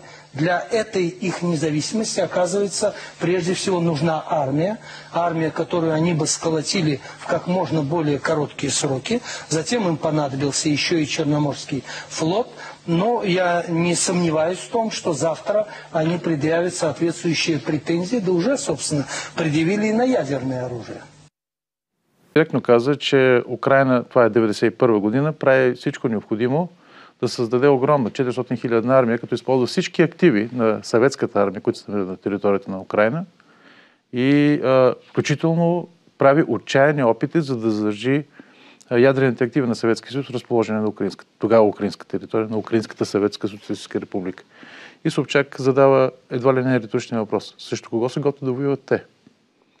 И второто нещо, което също ми направи много силно впечатление, той каза, че съществуват, повтарям това преди повече от 30 години, удивителна симбиоза в интересите между западноукраинските националисти, тогава все още маргинали в Западна Украина, за така наречените западенци в Галичина и по-съветската комунистическа номенклатура на Украина те сплеснаха ръце и се прегърнаха, защото откриха, че имат общ интерес. Едните да крадат, а другите да легитимират краденето с създаването на украински национализъм, който безспорно се създава само единствено на антируска основа, но всичките тези процеси се използваха от геополитическия хегемон, за да може да бъде създадено от Украина оръжие, което да бъде насочено срещу Русия, да не можете никога повече да стане. И сега в момента присъстваме на последния акт на драмата. Не знам дали знаете, но в доктрината на Съединените щати Русия и Китай са записани като ревизионисти. Превеждам на прост български язик. Тяхната огромна вина е в това, че, видите ли, те искали да ревизират съществуващия световен ред и правилата. Разбирате, превеждам от птичи език на политиците. Те искат да вземат нашето място. Това е недопустимо и следователно, те са врагове, следователно, цялото прогресивно човечество трябва да бъде насочено срещу тях. Така Лин Бяло наричаше Съветския съюз. Точно така. Така че ревизионисти, но винаги когато стария хегемон си отива, новите още не са стъпили в правата си, това е най-драматичната, най-вълнуващата, но и най-опасната част от световната история. Пак повтарям, във всичките случаи, когато до сега се е получавало такъв тип, да, го изрази, да се изразя на неакадемичен език, стръскване на силите, така да се каже, това е ставало през война. За първи път ситуация се изразява това, че ние имаме не биполярен, както беше преди 45-50 години, а поне триполярен свят, поне казвам триполярен свят, и всеки един от върховете на този условен триъгълник разполага с огромни ядрени ресурси. Съчетано с а, м, някакъв такъв менталитет, който гледам, че се пръска, така да се каже, през контролираните средства за масова информация, че няма нищо страшно в един контролиран тактически ядрен конфликт, явно ни готвят за нещо, което косите ме настрахват. Работещ вариант използват на тактическо ядрено оръжие за разрешаването на стратегически цели. Има много а, въпроси от зрители. Наш а, зрител Владимир Коцелов пита, а, той се страхува, че България също ще стане театър на, на военни действия и пита в коя държава е най-добре да се емигрира. С такъв акъл не си заслужаваме държавата. Щом ще емигрираме, по-добре да не да имаме каквито да било претенции. Как се управлява и що се управлява. Три милиона избягаха от тази страна, вместо да я защитават. Тези те ли се готвят? Очевидно това е някаква вълна, която сега се разнася. Кой може да има интерес? Този, който иска да превърне България в територия без народ? Разбира се, да, да, точно така. А, наместо да ведеш битка за страната си, ти питаш къде да бягаш. Не е достойно. Има ли индикации за отваряне на втори фронт на войната Съединените щати и Русия в Близкия изток? Там не, обаче има индикации за отваряне или опити за индикации за отваряне на втори фронт в Кавказ. Знаете за последните директни военни сблъсъци в Карабах между Азербайджан и Армения. По-скоро тук виждам обаче мъгливи, ръката на мъгливия Албион, а не толкова на щатите в случая. Но няма никакво значение. В случая мисля, че се прави поне опити да бъде подпален Кавказ, за да бъде най-малкото раздвоено вниманието на Русия. Ако си спомняте, преди това имаше такъв опит с Казахстан, за да се отклони вниманието от случващото се в Украина в контекста на откритите документи за готвено нападение срещу Донбас. А, а, дали няма опасност такова на, на такива опити да бъдат направени и спрямо Турция, тъй като след като Украина отпада от списъка на държавите плацдарм за война срещу Русия, единствената с реален потенциал, която може да бъде използвана в тая насока, е Турция. Възможно, но това трябва да мине през смяна на режима в Турция. Директно казвам смяната на Ердоган. А, тъй като каквито и грехове да му слагаме, Ердоган е м- м- човек с историческа мисия, който более за страната си. И последното нещо, което има нужда Турция е да се намеси, как използваме старата българо-турска поговорка, когато атовите се ритат, магарите теглят. Въпреки, че турското магаре е доста охранено, но все пак е в раздела на магаретата, не на атовете.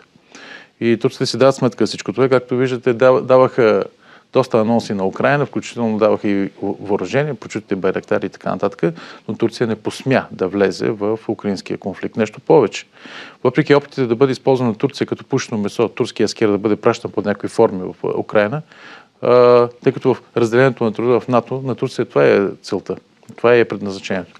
Да участва като пушно месо. Турския лице дава ясно сметка за това и той е изключително предпазлив. Така че на този етап не виждам такива възможности. Зрителя Димитров пита, стреми ли се Русия да предизвика голяма економическа криза с цел сриване на Европа и Съединените щати? Русия, той изразява и едно предвиждане, Русия също ще се стрине, ще се срине, но изправенето и след това е сигурно, докато за Европа и Съединените щати е малко вероятно. Как се казваше? Съобщението за моята смърт е леко преувеличено, каже Марк Твен. Нищо от това няма да се случи, но това, което се вижда е, че Европа се самоубива. Разбира се, това е в средносрочен интерес на Съединените щати. Европа, това, което ние разбираме под Европа, цялостното и поведение е против нейните економически интереси. Цялата конфронтация с Русия е против нейните политически и економически интереси, но това е, съвпада много добре с интересите на щатите в този регион. По този начин поведението на Европа всъщност, прикрито с лозунгите за евроатлантическо единство, устрояване на силите на демокрацията срещу силите на злото и тъмнината, имат предвид Кремъл, във всичките тези случаи всъщност резултата е, че Европа ще представя да бъде какъвто да било геополитически фактор. Не, че някой е била. Да не говоря, че приказките, че руските доставки може да бъдат заменени в оперативен порядък, говоря енергийни доставки, всеки специалист знае, че това е нереално, поне в близките 2-3 години. А, да не говорим, че тук не опира до енергийни доставки, тук, тук опира до цялата линия, така да се каже, от артикули, които, в които енергийната съставляваща влиза. Съобщавам, 60% от, а, а, от торовете са с происход от Русия. Там има енергийната съставка на газа и на нефта. Огромна част от това означава, това веднага се калкулира в храните, т.е. ние ще имаме не просто енергийна, ние ще имаме продоволствена криза.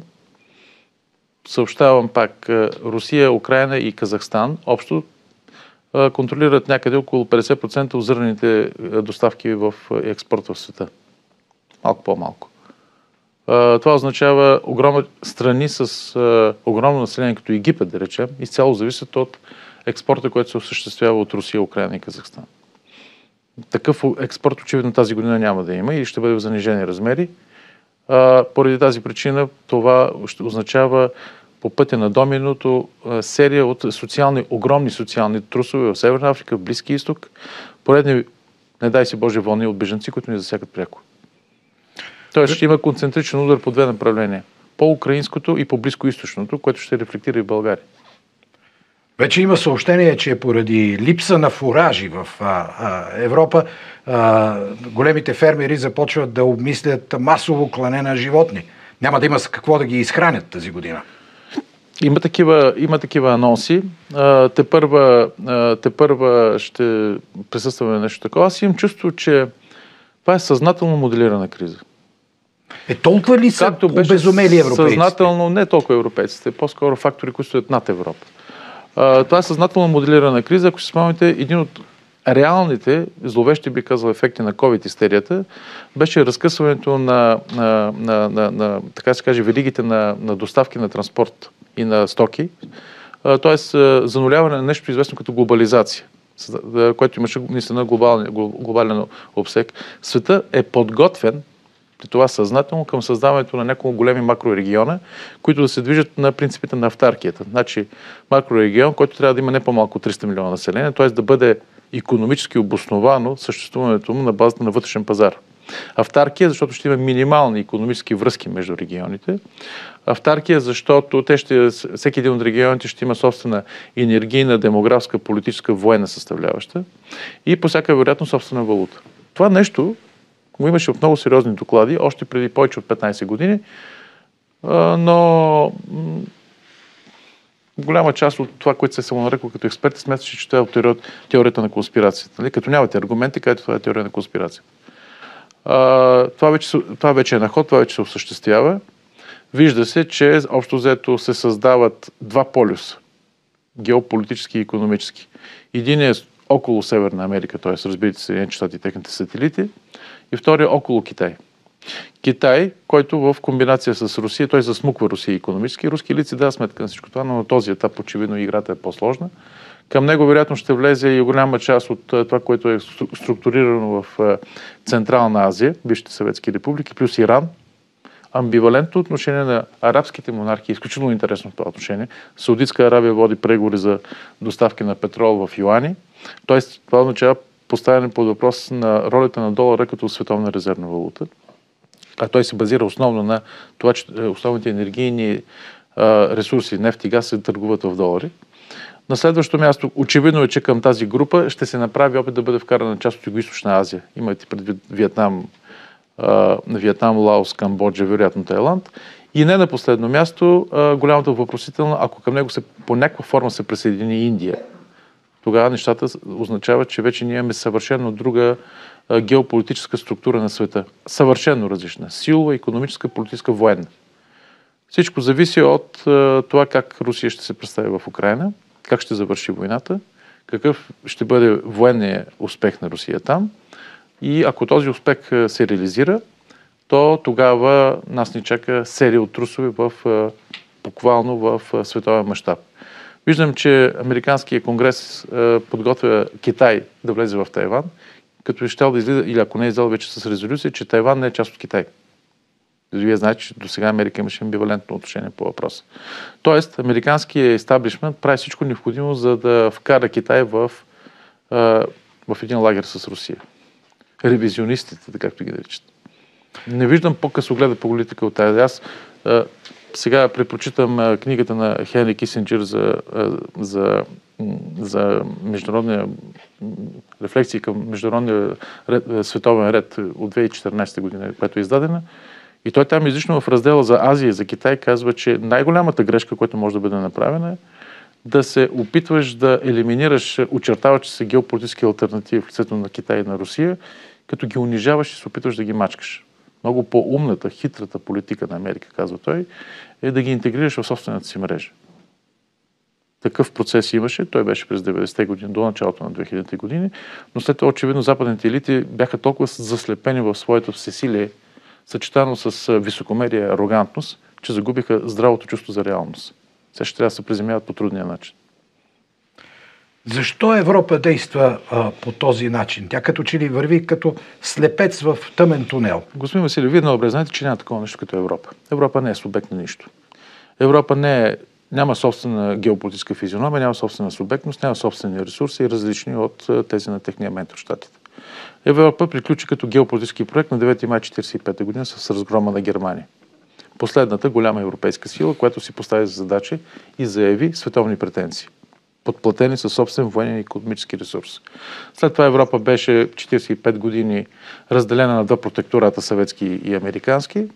А след това, след като едностранното оттегляне на Съветския съюз от глобалния сблъсък, това, което наричаме Европейски съюз, беше всъщност експанзията на Америка през техните проксита европейски в Източна Европа.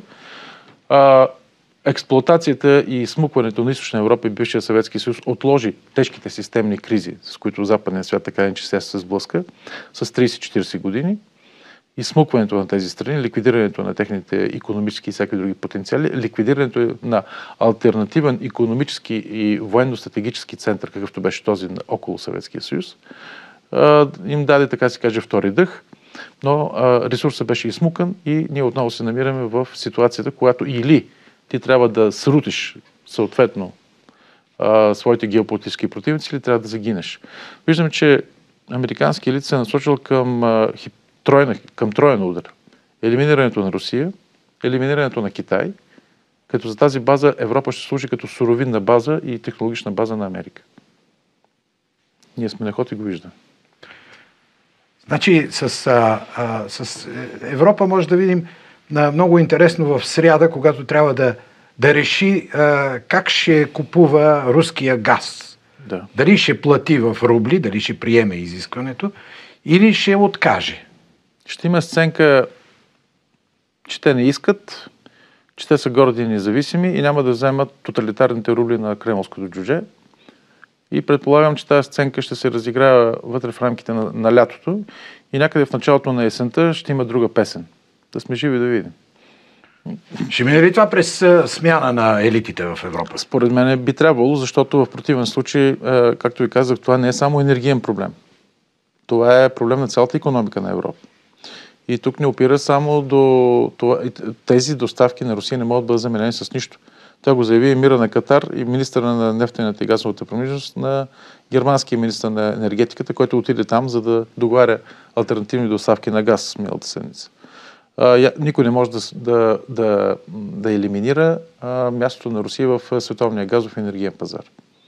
На следващото място това означава, че Европа, а, тъй като няма да е в състояние да, да намери собствени альтернативни източници, а американските такива са крайно недостатъчни. Говоря с за около 15 милиарда, ако не се лъжа, куби, кубически метра, а, така начиния low pressure газ, който обаче в никакъв случай не може да замени огромните доставки, които се съществуват по, по руското направление.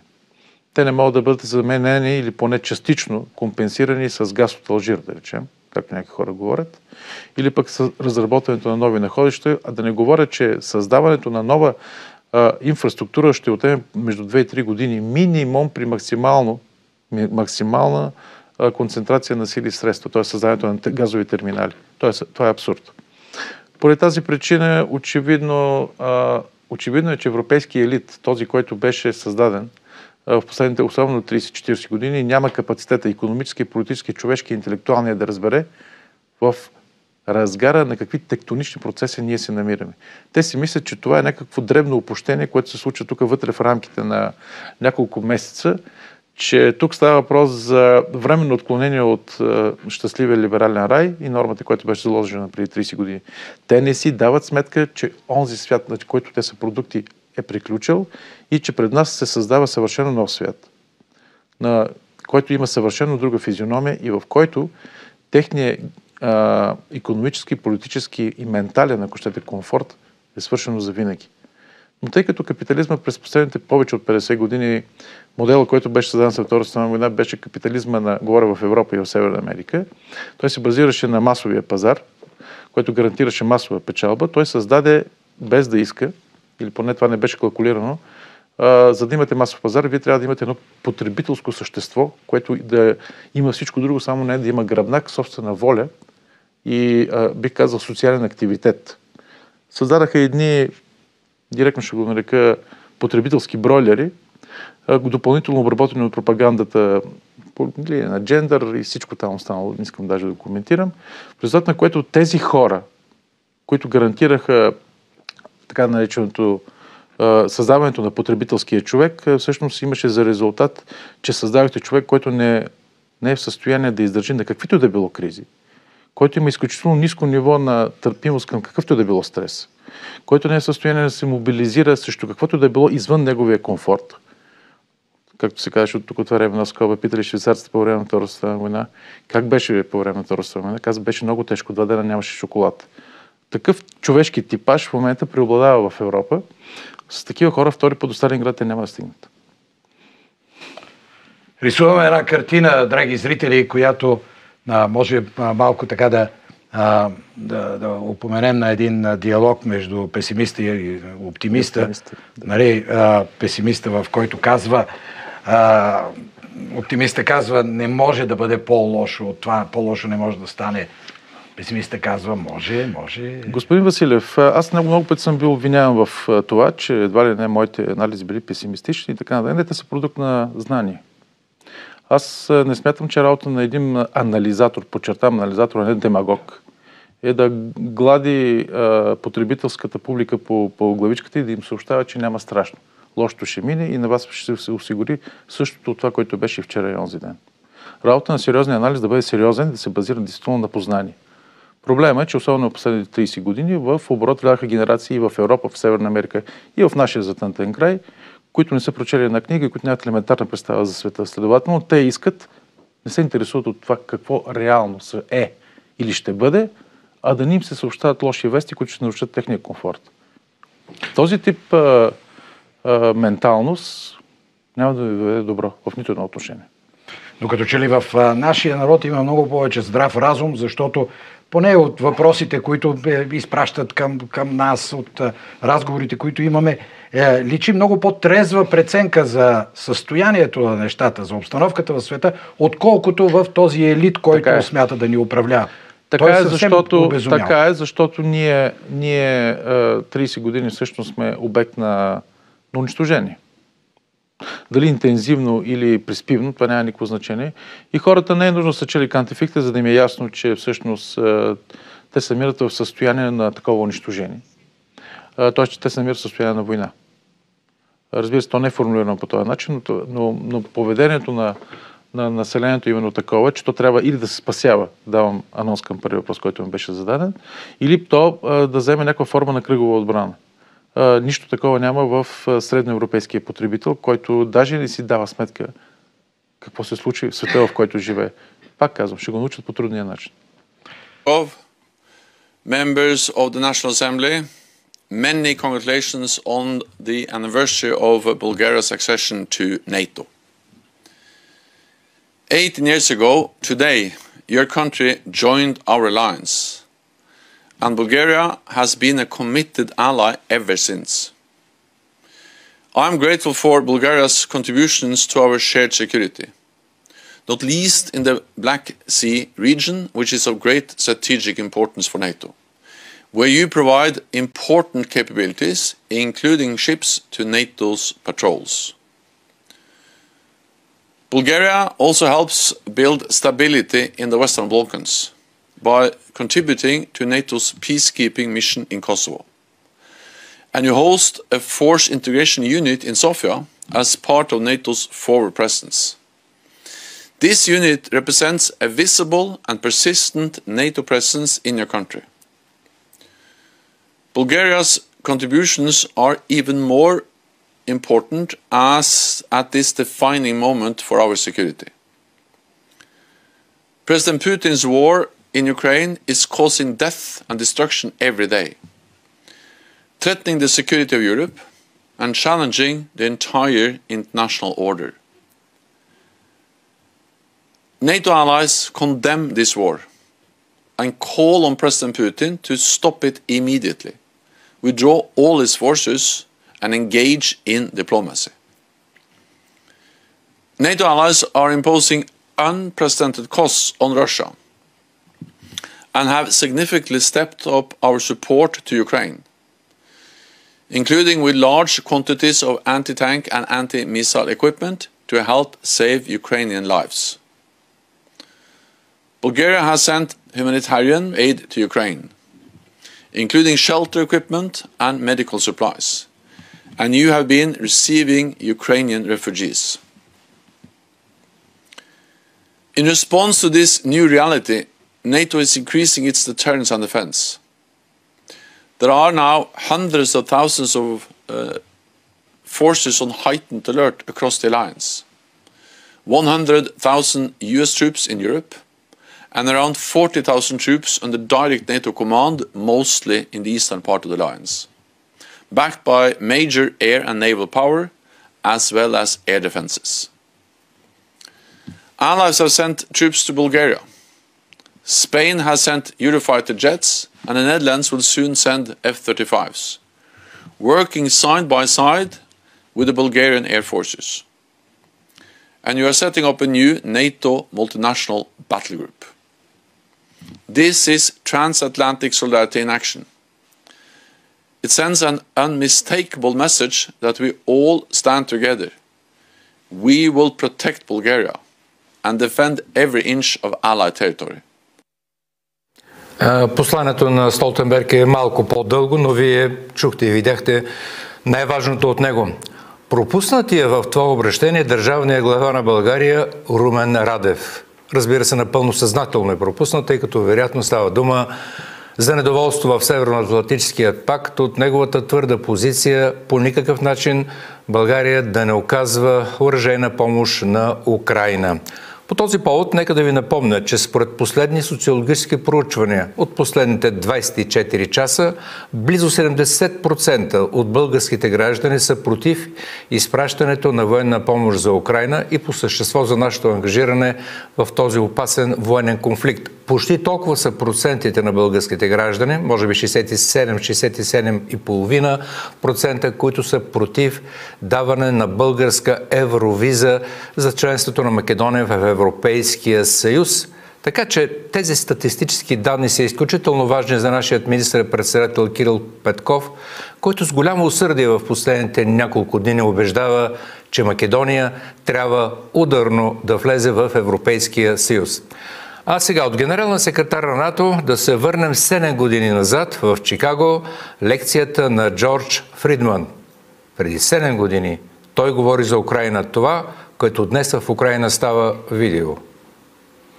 The question on the table for the Russians is will they retain a buffer zone that's at least neutral? Or will the West penetrate so far in the Ukraine that they're 70 miles away from Stalingrad and 300 miles away from Moscow? For Russia, the status of Ukraine is an existential threat. And the Russians cannot let go. For the United States, in the event that Russia holds onto the Ukraine, where will it stop? Therefore, it's not an accident that General Hodges, who's been appointed to be blamed for all of this, uh, is talking about prepositioning troops in Romania, Bulgaria, Poland, and the Baltics. This is the intermarium, the, from the Black Sea to the Baltic that Pilsudski dreamt of. This is, this is the solution for the United States.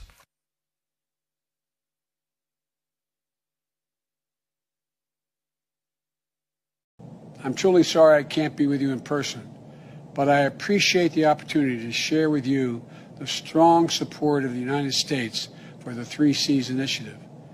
And I want to thank President Radov and Minister Petkov for hosting this important summit. To which we don't have the answer is what will Germany do? So the real wild card in Europe is that as the United States builds its cordon sanitaire, not in Ukraine, but to the west. And the Russians try to figure out how to leverage the Ukrainians out. We don't know the German position. Germany is in a very peculiar position. Its former uh, Chancellor Gerhard Schroeder is on the board of Gazprom. Uh, they have a very complex relationship to the Russians. The Germans themselves don't know what to do. They must export. The Russians can't take up the export. On the other hand, if they lose the free trade zone, they need to build something different. For the United States, the primordial fear is Russian capital, Russian technology, I mean, German technology and German capital, Russian uh, natural resources, uh, Russian manpower, as the only combination that has for centuries scared the hell out of the United States. So, how does this play out? Well, the U.S. has already put its cards on the table.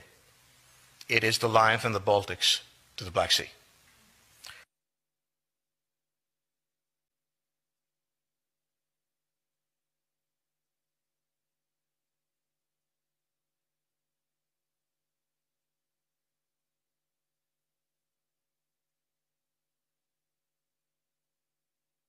For the Russians, their cards have always been on the table. They must have at least a neutral Ukraine, not a pro Western Ukraine. Belarus is another question. Now, whoever can tell me what the Germans are going to do is going to tell me about the next 20 years of history.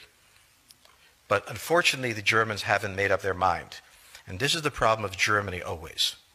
Enormously economically powerful, geopolitically very fragile, and never quite knowing how to reconcile the two. Ever since 1871, this has been the German question, the question of Europe. Think about the German question, because now it's coming up again. That's the next question that we have to address. And we don't know how to address it. We don't know what they're going to do. And unfortunately, that's all we have time for this evening. И така в нашото студио е политолога Петър Клисаров. 37-я ден от войната в Украина. Добре дошли в нашото студио. Здравейте. Внимателно изгледахте това изявление на Джордж Фридман. И веднага да направя връзка с поздравлението към България на Столтенберг. Той пропусна, Столтенберг пропуска държавния глава Рум Радев, очевидно, вероятно недоволен от неговото отношение към войната в Украина и българската военна помощ. Но в същото време господин Радев е същия, който миналата година в навечерието на юлските извънредни парламентарни избори беше домакин, и то по негово желание, на инициативата Три морета в София. Тоест тази инициатива, както виждаме от това видео на Джордж Фризма, Три морета е инициатива, която цели раздалечаването на Русия от Германия и създаването на санитарен пояс от времето на маршал Пилсудски в Польша от 20-те години на миналия век, тази бариера между Русия и Германия да стане много трайна, много желязна и по същество желязна завеса. Това не е ли едно противоречие в отношението на НАТО към България? Не е противоречие. Когато има удобно нещо го правят, когато не има удобно, просто не го споменават. Арогантна позиция от позиция на силата. Това, което мога да кажа за речта, която е на Фридман, аз имам материал от преди 5 години заглавен Украина на ръба на бездната. В момента Украина е в бездната. И искам да направя един паралел, че в момента светът е като Украина и гори от всички коридори. Имаме един огромен конфликт, който всички виждаме, но той не е конфликта на Украина срещу Русия, той е конфликта на колективния Запад срещу Русия и допълнение Китай. А, той е неизбежен този конфликт. Той не е въпрос на това Путин и Байден да седнат на една маса и да се разберат. А, той е повлиян не от десетилетия, от векове насам и е с, базиран на четири основни неща. Едното е смяната на хегемона. Този процес тече и е неизбежен. Енергийна криза, хранителна криза и финансова криза. Виждаме, че всичко това нещо тече в момента.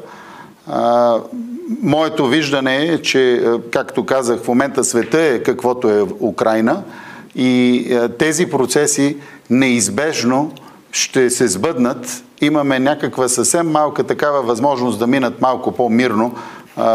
Знаете, сега идват изборите във Франция, там ще видим хората дали ще изберат Макрон или Люпен.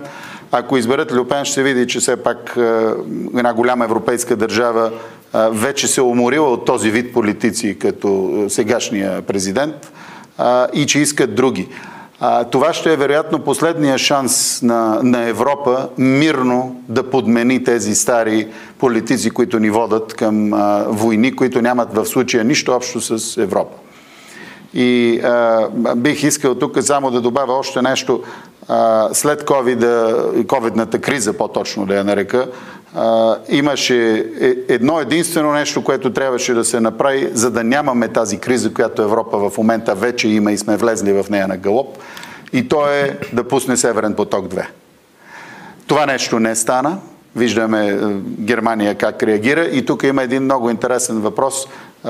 Не го твърда, но все пак има доста така спекулативни теории върху това нещо. Германия някога получила ли е пълен суверенитет след Втората световна война и трябва ли за основни неща винаги да питат Американския конгрес и да получават одобрението? По тази тема в Германия почти никой не говори. Това е тема табу. Никой не иска да разсъждава по нея, но имаме съмнение, че тя работи. И доказателствата за това са следните. Коя нормална държава би се отказала от ядрената си енергетика? Коя нормална държава ще се откаже от газ, който е най-ефтин и доставен по най-ефтиния начин и ще вкара държавата си в една такава криза? Приемате ли една версия, тя е на границата на конспирацията, за така наречения канцлер пакт по отношение на Германия, че след Втората световна война има негласно или неофициално споразумение Германия да остане в пълното, под пълното политическо влияние на Съединените Американски щати не може да има самостоятелна политика. Така ли е? Точно, Според вас. Точно това нещо казах, че нямаме доказателства, но много сериозни политици говорят на тази тема, а действията показват точно такова нещо. Кой нормален човек ще се откаже от това да има чешма в двора, от която да си ползва вода, а ще си кара с туби през 10 планини в 10.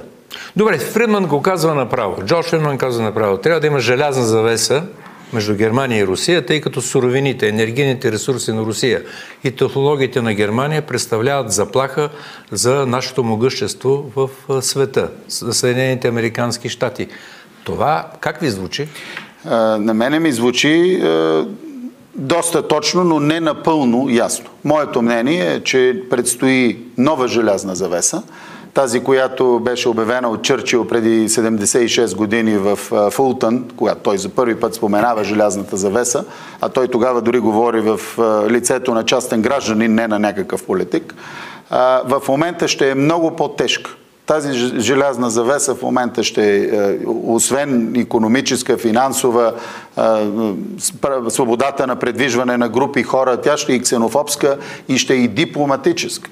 Виждаме какво става. Имаме вече една дипломатическа война обявена, как се отзовават наляво и надясно всякакви е, дипломати. Е, това нещо води до едно преразпределение на света, което исках да е, изложа преди малко с това, че е, кризата е неизбежна. Няма в човешката история подмена на един хегемон с друг без война. Е, и тук идва нашата надежда, че всъщност тази война, в която вече сме въвлечени, няма да стигне до ядрена война. А, доста по-рано ще се усетат и ще преразпределят така света на сфери на влияние, че да не се стигне до тази война. И това нещо го виждам между 3 до може би 5 години. След което ще имаме един свят, нов свят, с нови сфери на влияние, които, в които няма да има неща като а, санкции или доминиране над някоя страна, а ще имаме равнопоставеност на държавите. Нещо, което целият свят иска, но до момента ни е налагано от а, Запада, че ще се слушат техните права, които те правят. Това са думи на Обама от неговия последен а, управленчески период. Това нещо няма как да продължи. Просто съвсем пресна новина. Между срещата на външния министр на Китай и Лавров. Тя беше сега на 31-ви. Там много ясно китайският министр каза нещо, което беше леко загатнато, но е съвсем ясно какво е. В момента тече процес, който не сме виждали в света от 100 години и е толкова велик и голям, че нищо в тия 100 години не може да се сравни с него. В тия 100 години имаме Първата световна, Втората световна, Желязната завеса, Студената война. Тоест за тях всичко това е нищо сравнение с това, което се случва. Това за вашите зрители, което трябва да поясниме, е подмяната на световната валута от долар в други валути. Виждаме как Саудитска Арабия ще инвестира огромни суми, около 10 милиарда в Китай, в преработвателен завод за нефт и там разплащането ще става в юани.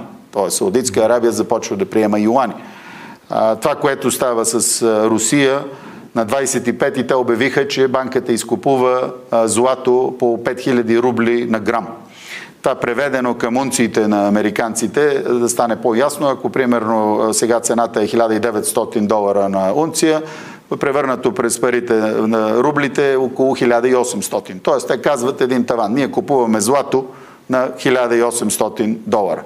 Само, че в момента, за да може да отидат нашите управляващи да си купат, да си платят газа, те не могат да купат рублите с евро или с долари, те трябва да занесат нещо друго. Това нещо друго, вероятно, ще е злато. Сега, вие споменахте преди малко нещо, което много малко хора по света си позволяват да го кажат, но думата ядрена война е евентуална. Да. Аз предлагам, като добавка към вашия коментар, който току-що направихте, да чуем мнението на един друг професор от Чикагския университет, Джон Миршаймер, само преди няколко дни, който получи голяма публичност, защото от това, което казва той, до някъде обяснява руско-украинския конфликт и руската инвазия в Украина. Какво ни казва професор от Чикагския университет като допълнение на неговия колега Джордж Фридман? Войната в Украина е най-опасният международен конфликт след Карибската криза през 1962 година. Разбирането за неговите първопричини е от съществено значение, ако искаме да предотвратим влушаването му. Няма съмнение, че Владимир Путин започна войната и е отговорен за начина по който тя се провежда. Друг е въпросът защо го направи. Гледната точка на Запада е, че той е ирационален, откъснат от реалността агресор, насочен към създаването на Велика Русия по модела на бившия Съветски съюз. Така само той носи пълната отговорност за украинската криза. Ала тази постановка е грешна. Западът, особено Америка, носи основната отговорност за кризата, която започна през февруари 2014 година. Сега тя се превърна в война, която не само заплашва да унищожи Украина, но има и потенциала да ескалира в ядрен конфликт между Русия и НАТО. Проблемите около Украина започнаха на срещата на НАТО в Букурещ през 2008 година, когато президентът Буш накара Алианса да обяви, че Украина и Грузия ще станат членки на военния пакт – Руските лидери реагираха с възмущение, определяйки това решение като екзистенциална заплаха за Русия. Америка пренебрегна червената линия на Москва и продължи напред, за да превърне Украина в западен противник на границата с Русия. Тази стратегия включваше още два елемента – доближаването на Украина до Европейския съюз и превръщането й в проамериканска демокрация. Ако Западът не само пречи на Москва по бойните полета на Украина, но нанаси сериозни и трайни щети на руската економика, той тласка една велика сила към ръба на пропаста. Тогава Путин може да посегне към ядрените оръжия. И сега предлагам, и сега предлагам, уважаеми зрители, да видим заедно с вас, господин Клисаров, на монитора много интересна карта, видеокарта за действията на руските въоръжени сили на украинска територия. Ето, това е като допълнение на вашия коментар, коментара на Джон Миршаймър. Ето какво се случва за един месец на територията на Украина. Червеният цвят на територията на Украина, това е завоеванията, които руските въоръжени сили постигнаха след началото на войната която започна преди 37 дни. Вашия коментар на това, което виждате? Започнем от картата, не от видеото. Първо имаме едно тотално медийно затъмнение на това каква е гледната точка на Русия и какви са рапортите от там. Сайта на Кремъл се блокира редовно. Russia Today телевизията е спряна много малко информация излиза от там и трябва да се полагат жестоки усилия, за да можеш да се информираш с фактите. Това, което не се казва на западните слушатели е следното. Тази военна операция, не случайно се нарича военна операция, не война, защото тя поражда други юридически последствия след това, се води в абсолютно плана, който е предвиден. И това, което бих искал да обясна е следното. Основната украинска армия беше е, локализирана в Донбас и се е готвила, според руско, руски източници, за нападение. Тя просто е била изпреварена.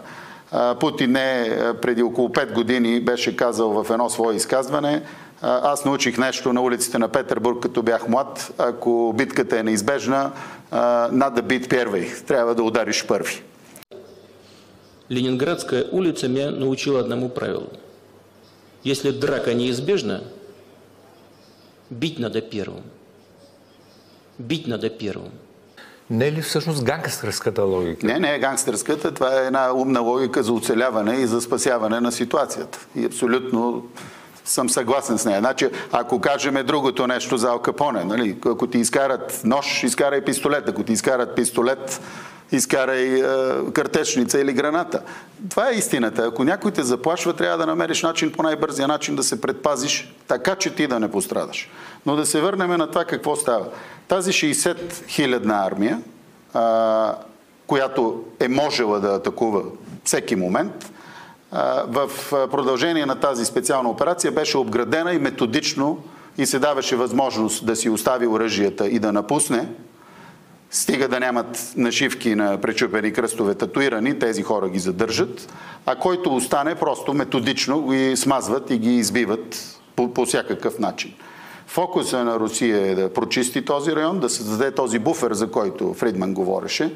За много хора, които нямат пресен спомен от ситуацията между СИФ и НАТО преди падането на железната завеса, става дума за едни 3 минути.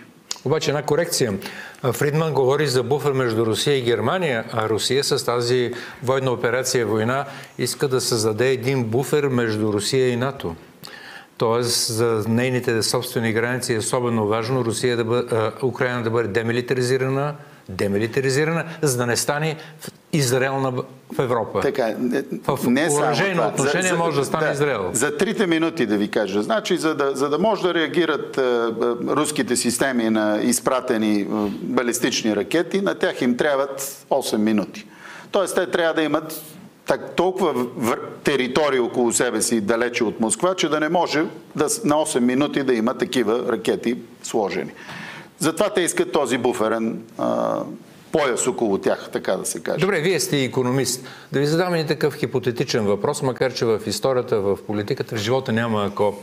Не трябваше ли Путин да започне с економическите и финансовите санкции? Рублата като разменна валута за нефт – газ, за уран и за всичко друго, което се сетите като суровина или енергийна суровина от Русия, след което да предприеме евентуално военни действия. Тоест, не трябваше ли първо да започне економическо-финансовата война с Запада, който е отговорен за настъплението на НАТО, към руските граници и след това да предприеме евентуално тези военни действия. Не се ли сбърка последователността? Не. Въпросът ви обаче е много хубав и много точен. Някъде го бях цитирал това нещо, защото аз много внимателно следа тези неща. Сутринта в 11 часа Путин казва, ние държиме на минските споразумения и да, да. ги да се следват. След обеда в техния парламент Комунистическата партия внася документ за, за признаване на двете републики като независими. Той не е непоследователен човек, той не, не е да не знае какво прави за вашите зрители е много малко известно това нещо в България. Вие много бързо ще ме разберете. Путин не е бил агент на КГБ. Путин е бил юрист-консулт в КГБ и е с юридическо образование. Тоест, това е един изключително методичен човек, който знае какво прави, предвижда го и дълго време се подготвя за него. За мене навлизането в Украина беше екстерно и той беше принуден това нещо да го направи. А, а да, приготвил се за първо евентуално това, за което вие казвате, обръщането на плащанията в рубло или в злато, но просто двете неща съвпаднаха. Но има и други много интересни съвпадения, които говорят за всъщност изпълнение на един план, а не за случайности. Какви са в, те? В газовите хранилища в Европа да. а, а, има около 20% газ в момента. Април месец е месеца, в който имаме най-малко газ. Сега трябва да почнем да пълниме, за да се напълни до ноември, за да можем следващата зима да имаме а, достатъчните количества. А, в 8-те руски хранилища, които 4 са в Германия, едно в Австрия, едно в Чехия и още две имаме, също има под 20% газ. Тоест, нещата стават много лоши за, за Европа, ако той наистина спре гъста.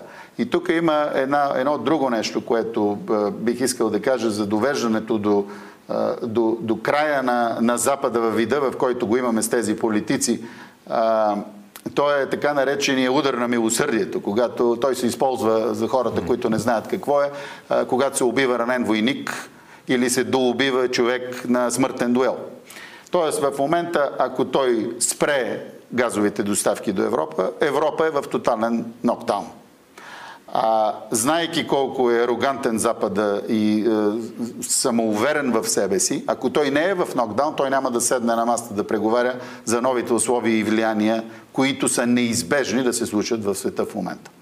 Като говорим за нокдаун, аз предлагам да видим едно много интересно видео, което на Запад често може да се види, но в България поне до сега не съм го виждал. Да видим на видео как изглежда в 50-60 секунди една минута, разширяването на НАТО от 1956 година до днес. Гледайте внимателно тази видеокарта и може да я коментираме веднага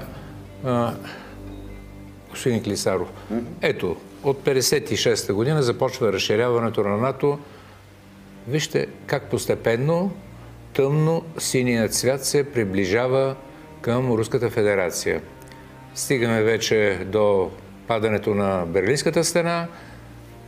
Ето България вече е член на НАТО, Румъния също, Полша, Литва, Латвия, Естония, Чехия, Словакия, Харватия. И стигаме вече до 2021 година, когато членки на пакта стават Албания и Република Северна Македония с новото име. Ето 2022 година. И сега като гледате тази карта, нека да я задържим по-дълго за нашите зрители. А, наистина вашите думи за неизбежността на реакцията на Путин има логика в тях.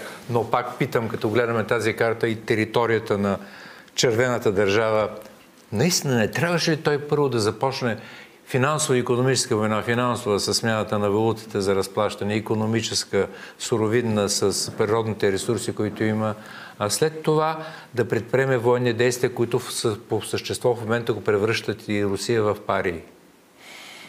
За хората с по-къса памет, една от причините НАТО да бомбардира съседната ни държава Югославия да. и ние да предоставиме въздушно пространство това да се случва, беше 50 годишнината на НАТО.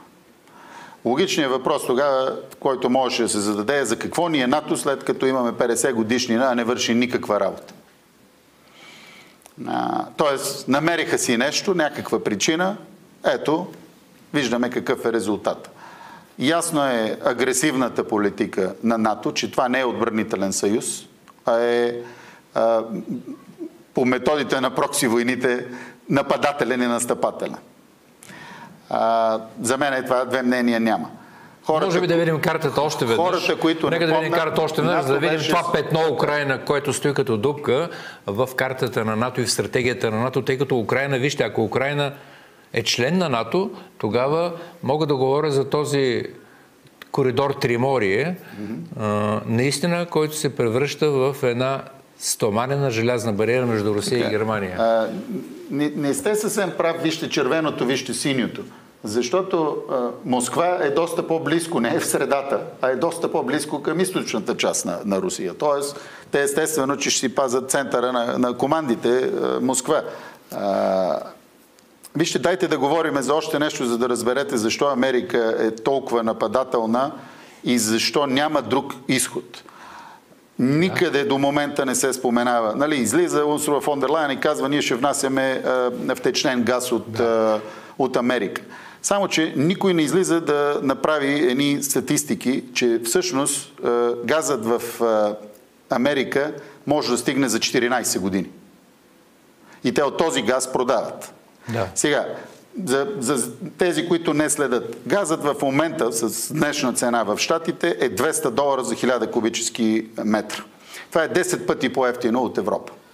Те казват, добре, ние ще ви продаваме газ. Какво постигат с това нещо? Постигат три неща. Отслабване на, на конкурентността на, на Европейския съюз и го обвързват политически. Второто нещо е разкъсват връзките между Европа и Русия. И трето нещо, а, налагат а, натиск върху Китай, тъй като Китай а, при миналия мандат, когато Тръмп беше министр, президент, сключи огромни договори за доставки на втечнен газ това, което се случва е в момента в Германия, вместо да си събират в хранилищата излишъка от газ, защото не всичкия газ, който влиза в Германия, се ползва от немската економика, имат един излишък. Този излишък, виждайки тази криза, те вместо да си го пазат за следващата зима, е продаден и са регистрирани неимоверни печалби. И тук трябва да кажем, за да разберат хората, все пак този газ не се купува от, само от немската държава, а се купува от частни инвеститори, от компании, които го препродават или ползват. А, тоест, виждате е, въпроса с това. След като Америка има за 14 години газ, какво правим? Още нещо трябва да се знае. За нефт. Нефт има за 42 години в момента в света. 1965 година е, е намерено най-голямото находище от 58 милиарда барела нефт. За последните 20 години се намират по 5-6 милиарда годишно. Какво правиме след тези 40 години, които съвсем не са далече? Нашите деца ще живеят в тях и, и ние дори ще ги закачиме, вероятно. А, какво правиме, когато всичкото това изчезне? За тези, които не помнят, преди 25 години Америка си запечата кладенците защото се знаеше, че са определени количества и не може да ги използват. И политиката беше да купуват газ и нефт от цял свят и да го внасят.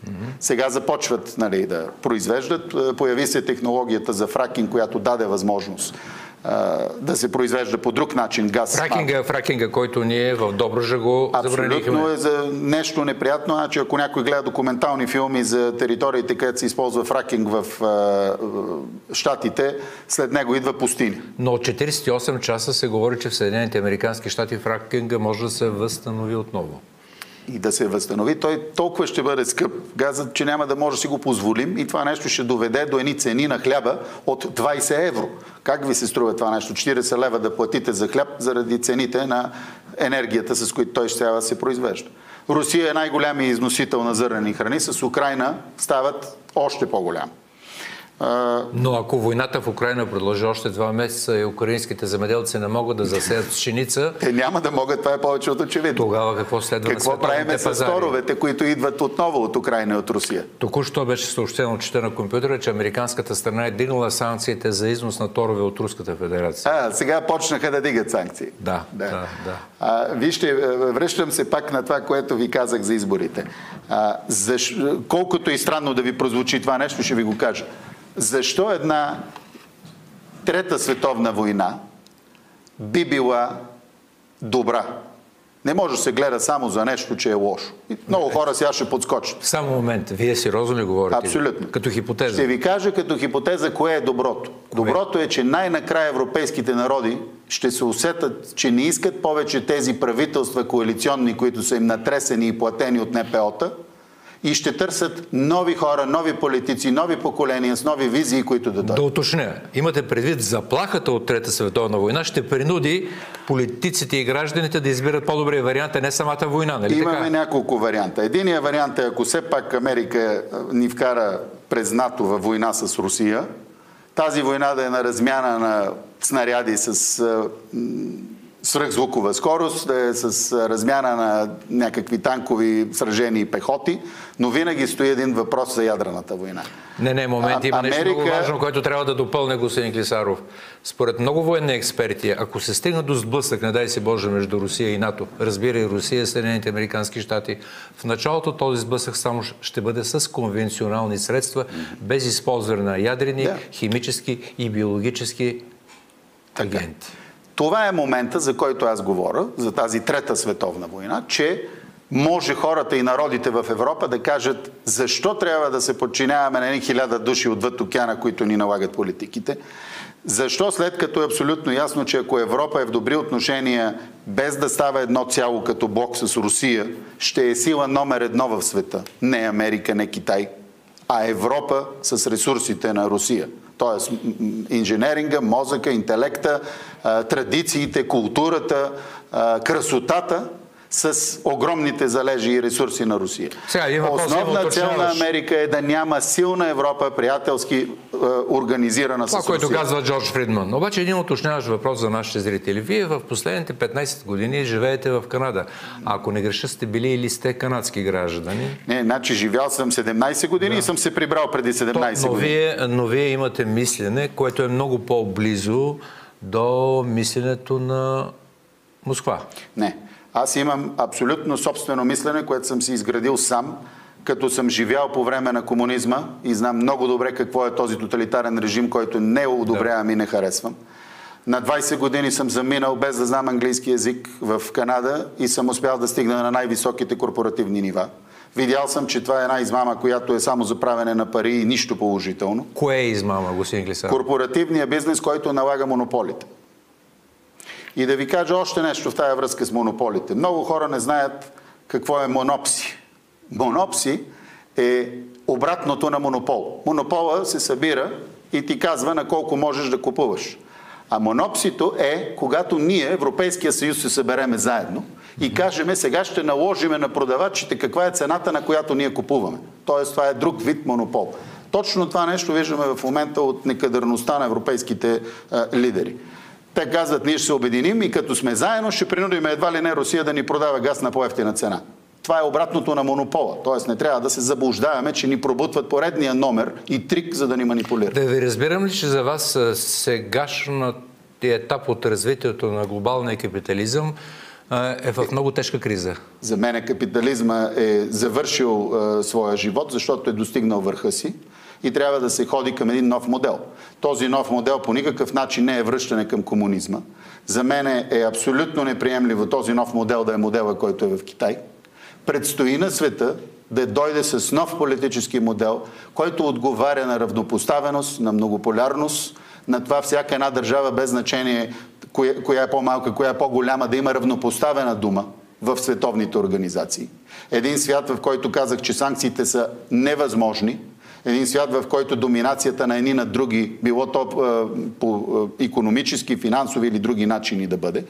И това нещо върви с пълна сила. И ще видим на изборите във Франция, дали това ще започне сега по мирен път, това е последния шанс това нещо да се случи, Говорите... или ще започнат хората да излизат по улиците и брутално да свалят правителства в Европа. Вие смятате, че по-добри избор за французите в предстоящите президентски избори е Люпен. Люпен, а не сегашният президент. По една много проста причина. Макрон е представител на, на тези стари елити, на старите пари в Европа, на Давоския форум, който има абсолютно друга скрита, скрит дневен ред, а не този, който е в интерес на хора. Отива Бербок в Катар, това е външния министр на Германия, връща се и казва, договорихме газ от Катар. Само, че Катар на следващия ден излиза с опровержение, няма mm-hmm. такова нещо. Казахме, че по принцип бихме продавали на всеки, който иска да купи при условията, които имаме. Тоест не сме обещали, че ще продаваме на Европа само и ще осигурим определени количества. За такова нещо този външен министр трябваше да си подаде оставката. А, да, да говорим за Шолц. Шолц казва преди три дена аз говорих с Путин, и няма да има проблем. Ще си плащаме в долари и в а, а, евро. А, Путин на следващия ден излиза, става дума за вчера, 31 с декрет. Декрет е като екзакутив ордера на Джо Байден, президентски указ. И в този декрет се казва, от утре почват всички не, не държави да плащат. Обаче от преди 4 часа имаме новина от Москва. Газът няма да спира, но плащането в рубли ще е от средата на април, а не от днес. Тоест, две седмици дават отсрочка руснаците Ето, на Запада. Но, какво става? Излиза немски канцлер и казва едно, на другия ден Путин прави абсолютно различно нещо след телефонния разговор. За такова нещо, за такава неяснота и неопитност на новия немски канцлер, също трябва да се мисли за подаване на отставка. Като се върнем на това, което ви казах за Франция преди малко, в момента, в който Германия започне да остава без необходимите храни, без, както виждаме в момента, има недостиг на дизелово гориво и дизеловото гориво, което е в недостиг, в момента плува в океана, идва от Америка. А, самите бизнесмени, производители и хората от Германия ще свалят това правителство. Когато го свалят, а, зелените вероятно няма да могат повече никога да влезат в парламент, защото те са едни от основните виновници за това, което се случва в момента там. Но да, да се върнем на контракта. А, какво казва той? В нашите контракти пише, че трябва да, да си плащаме в долари и в евро. Чакайте малко, вие какво искате? Русия да ви, вие да давате на Русия евро, тя да го вкарва в евровите сметки и вие да ги блокирате. Тоест, вие искате да ви се дава газ да. без пари. И Путин в, в, на 31 в декрета си каза точно и много ясно. Защо мислите, че ние ще ви даваме без пари газ? Вие ни давате вашите пари, слагаме ги в сметки и вие ги замразявате. Също така, вашите зрители трябва да знаят, че от 650 милиарда резерв на Руската банка, 355 милиарда са в чужди банки. Те са в чужди банки, защото там имаш облигации, които можеш да вземеш, имаш заеми с по-изгодни лихви. В момента тези пари са блокирани или с други думи, може да се каже, откраднати. Значи, вие, вие ми блокирате парите, които са в, в вашите банки, и ми казвате, че ще ми плащате със същите пари, които аз трябва да внеса в тия банки и вие да ми ги замразявате, което значи, че ви давам газ без пари. Еми няма как да стане какъвто и човек да си е наивен. Като говорите за газ без пари, нека да не забравяме да допълня вашите думи за дизеловото гориво, което пътувало от Съединените Американски щати към Европа че всъщност Русия е един от най-сериозните вносители на дизелово гориво в Съединените Американски щати по официална американска информация от последните няколко дни. Тоест, част от руското дизелово гориво ще бъде връща... върнато на Европа на друга цена. Но е, вижте, е, преди малко за това, за което говорих, за неизбежната криза. Значи, е, нека да говорим за финанси. За декември месец 2021 година общия 247 трилиона долара е общата световна задлъжнялост. Световният брутен вътрешен продукт е 92 трилиона. Това означава, че имаме 2,7 пъти повече, отколкото е производството. Оптималната граница е 56-60% от парите на брутния вътрешен продукт. Така че като направим сметката, излиза, че в момента имаме пет пъти по-голям финансов капитал от реалния. Този балон или трябва да се спада, или трябва да се спука. Няма друг начин. Това е неизбежно. А, Последния път, когато това е станало, е било 29-та година, 30-та кризата в Америка и то е довело до две неща. Първо, Америка е имала 50% спад на економиката, а в Германия това е довело до идването а, на Хитлер на власт. А не беше ли последния път 2008 година, когато Уолл Стрит, буквално е смисъл на думата, изгърмя, след което започна не, един не процес на отдържавяване на, на, на, отдържавяване на автомобилната индустрия на Съединените Американски щати? А, за не, да бъде спасена. Значи, да, размера на, на голямата рецесия е много по-голям 20-30, отколкото 2008. Имаме много по-тежко е било тогава, отколкото сега. По-тежко тогава, не сега, тъй като 2008 година американската държава в лицето... Из, изпечата страшно много пари, приватизира е, наляги в банките, приватизира някои предприятия, както вие казахте. От държави, искате да кажа. От държави, да. да. да. И това се случи. За мен е, това, което се случва е, имаме един огромен конфликт на, на Запада, имайки предвид САЩ, Европейския съюз, Канада, Австрия, Япония, Южна Корея, Англия и от другата страна имаме Русия и Китай. Всички останали държави се ослушват и чакат да видят сблъсъка на титаните, кой ще победи, за да се присъединят към него. От изказването на външния министр на Китай за, за това, което правят с парите, за мен е абсолютно ясно, че те са абсолютно убедени, че ще спечелят тая война. И, и все още не сме започнали да навлизаме в реалните проблеми на това, което става. Господин Клисаров, остават ни 3 минути до края на предаването. На 37-я ден от войната, войната на Русия срещу Украина, или пък да речеме военната операция на Русия в Украина, вашата прогноза? Военно-политическа, геополитическа и суровидно-економическа. Войната в Украина на военен фронт ще бъде спечелена от Русия. Войната в медиите се губи от Русия и се печели от Запада. А, економическата война, в която мислихме, че са много силни глобалния Запад, вероятно ще бъде спечелена от Русия и Китай. Дипломатическата война, която се води, се печели от Русия тотално. Защо искам в тия три минути да кажа още нещо. Има точно преди една година внесен бил в Конгреса в Штатите относно Тайван. За признаването като отделна държава, вкарването му в а, световните организации, какво ли още не. Това само дразни и се подготвя да въвлече и Китай в едни сериозни взаимоотношения с глобалния Запад. Два дена след разговорите по телефона между Си Цзинпин и Байден, Америка наложи поредните санкции на Китай. Тоест дразни ги, за да се стигне до тази трета световна война, за която говоря. Прекрояването на света е неизбежно и ние трябва да мислим от коя страна на победителите ще бъдем. В последната минута, според вас, на коя страна трябва да е България? На нашата и един много бърз съвет. Невероятно бързо създаване на закон за износа на златото. Трябва да е решено последния начин. България да може да има вето върху изнасянето на злато от България. Защото това злато, което е около 7 тона на а, година, ще ни трябва да си плащаме газа в Русия. Второ нещо, а, забрана за износ на определени храни много бързо и да се приготвиме да можем да сме самодостатъчни от 2 до 5 години.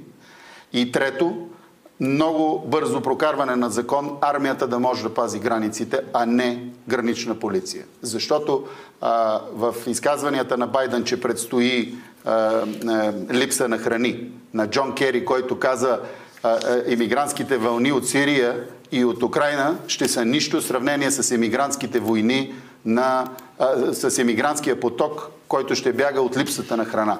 Тоест България трябва да може да си произвежда, да си плаща за енергийните източници и да си пази границите.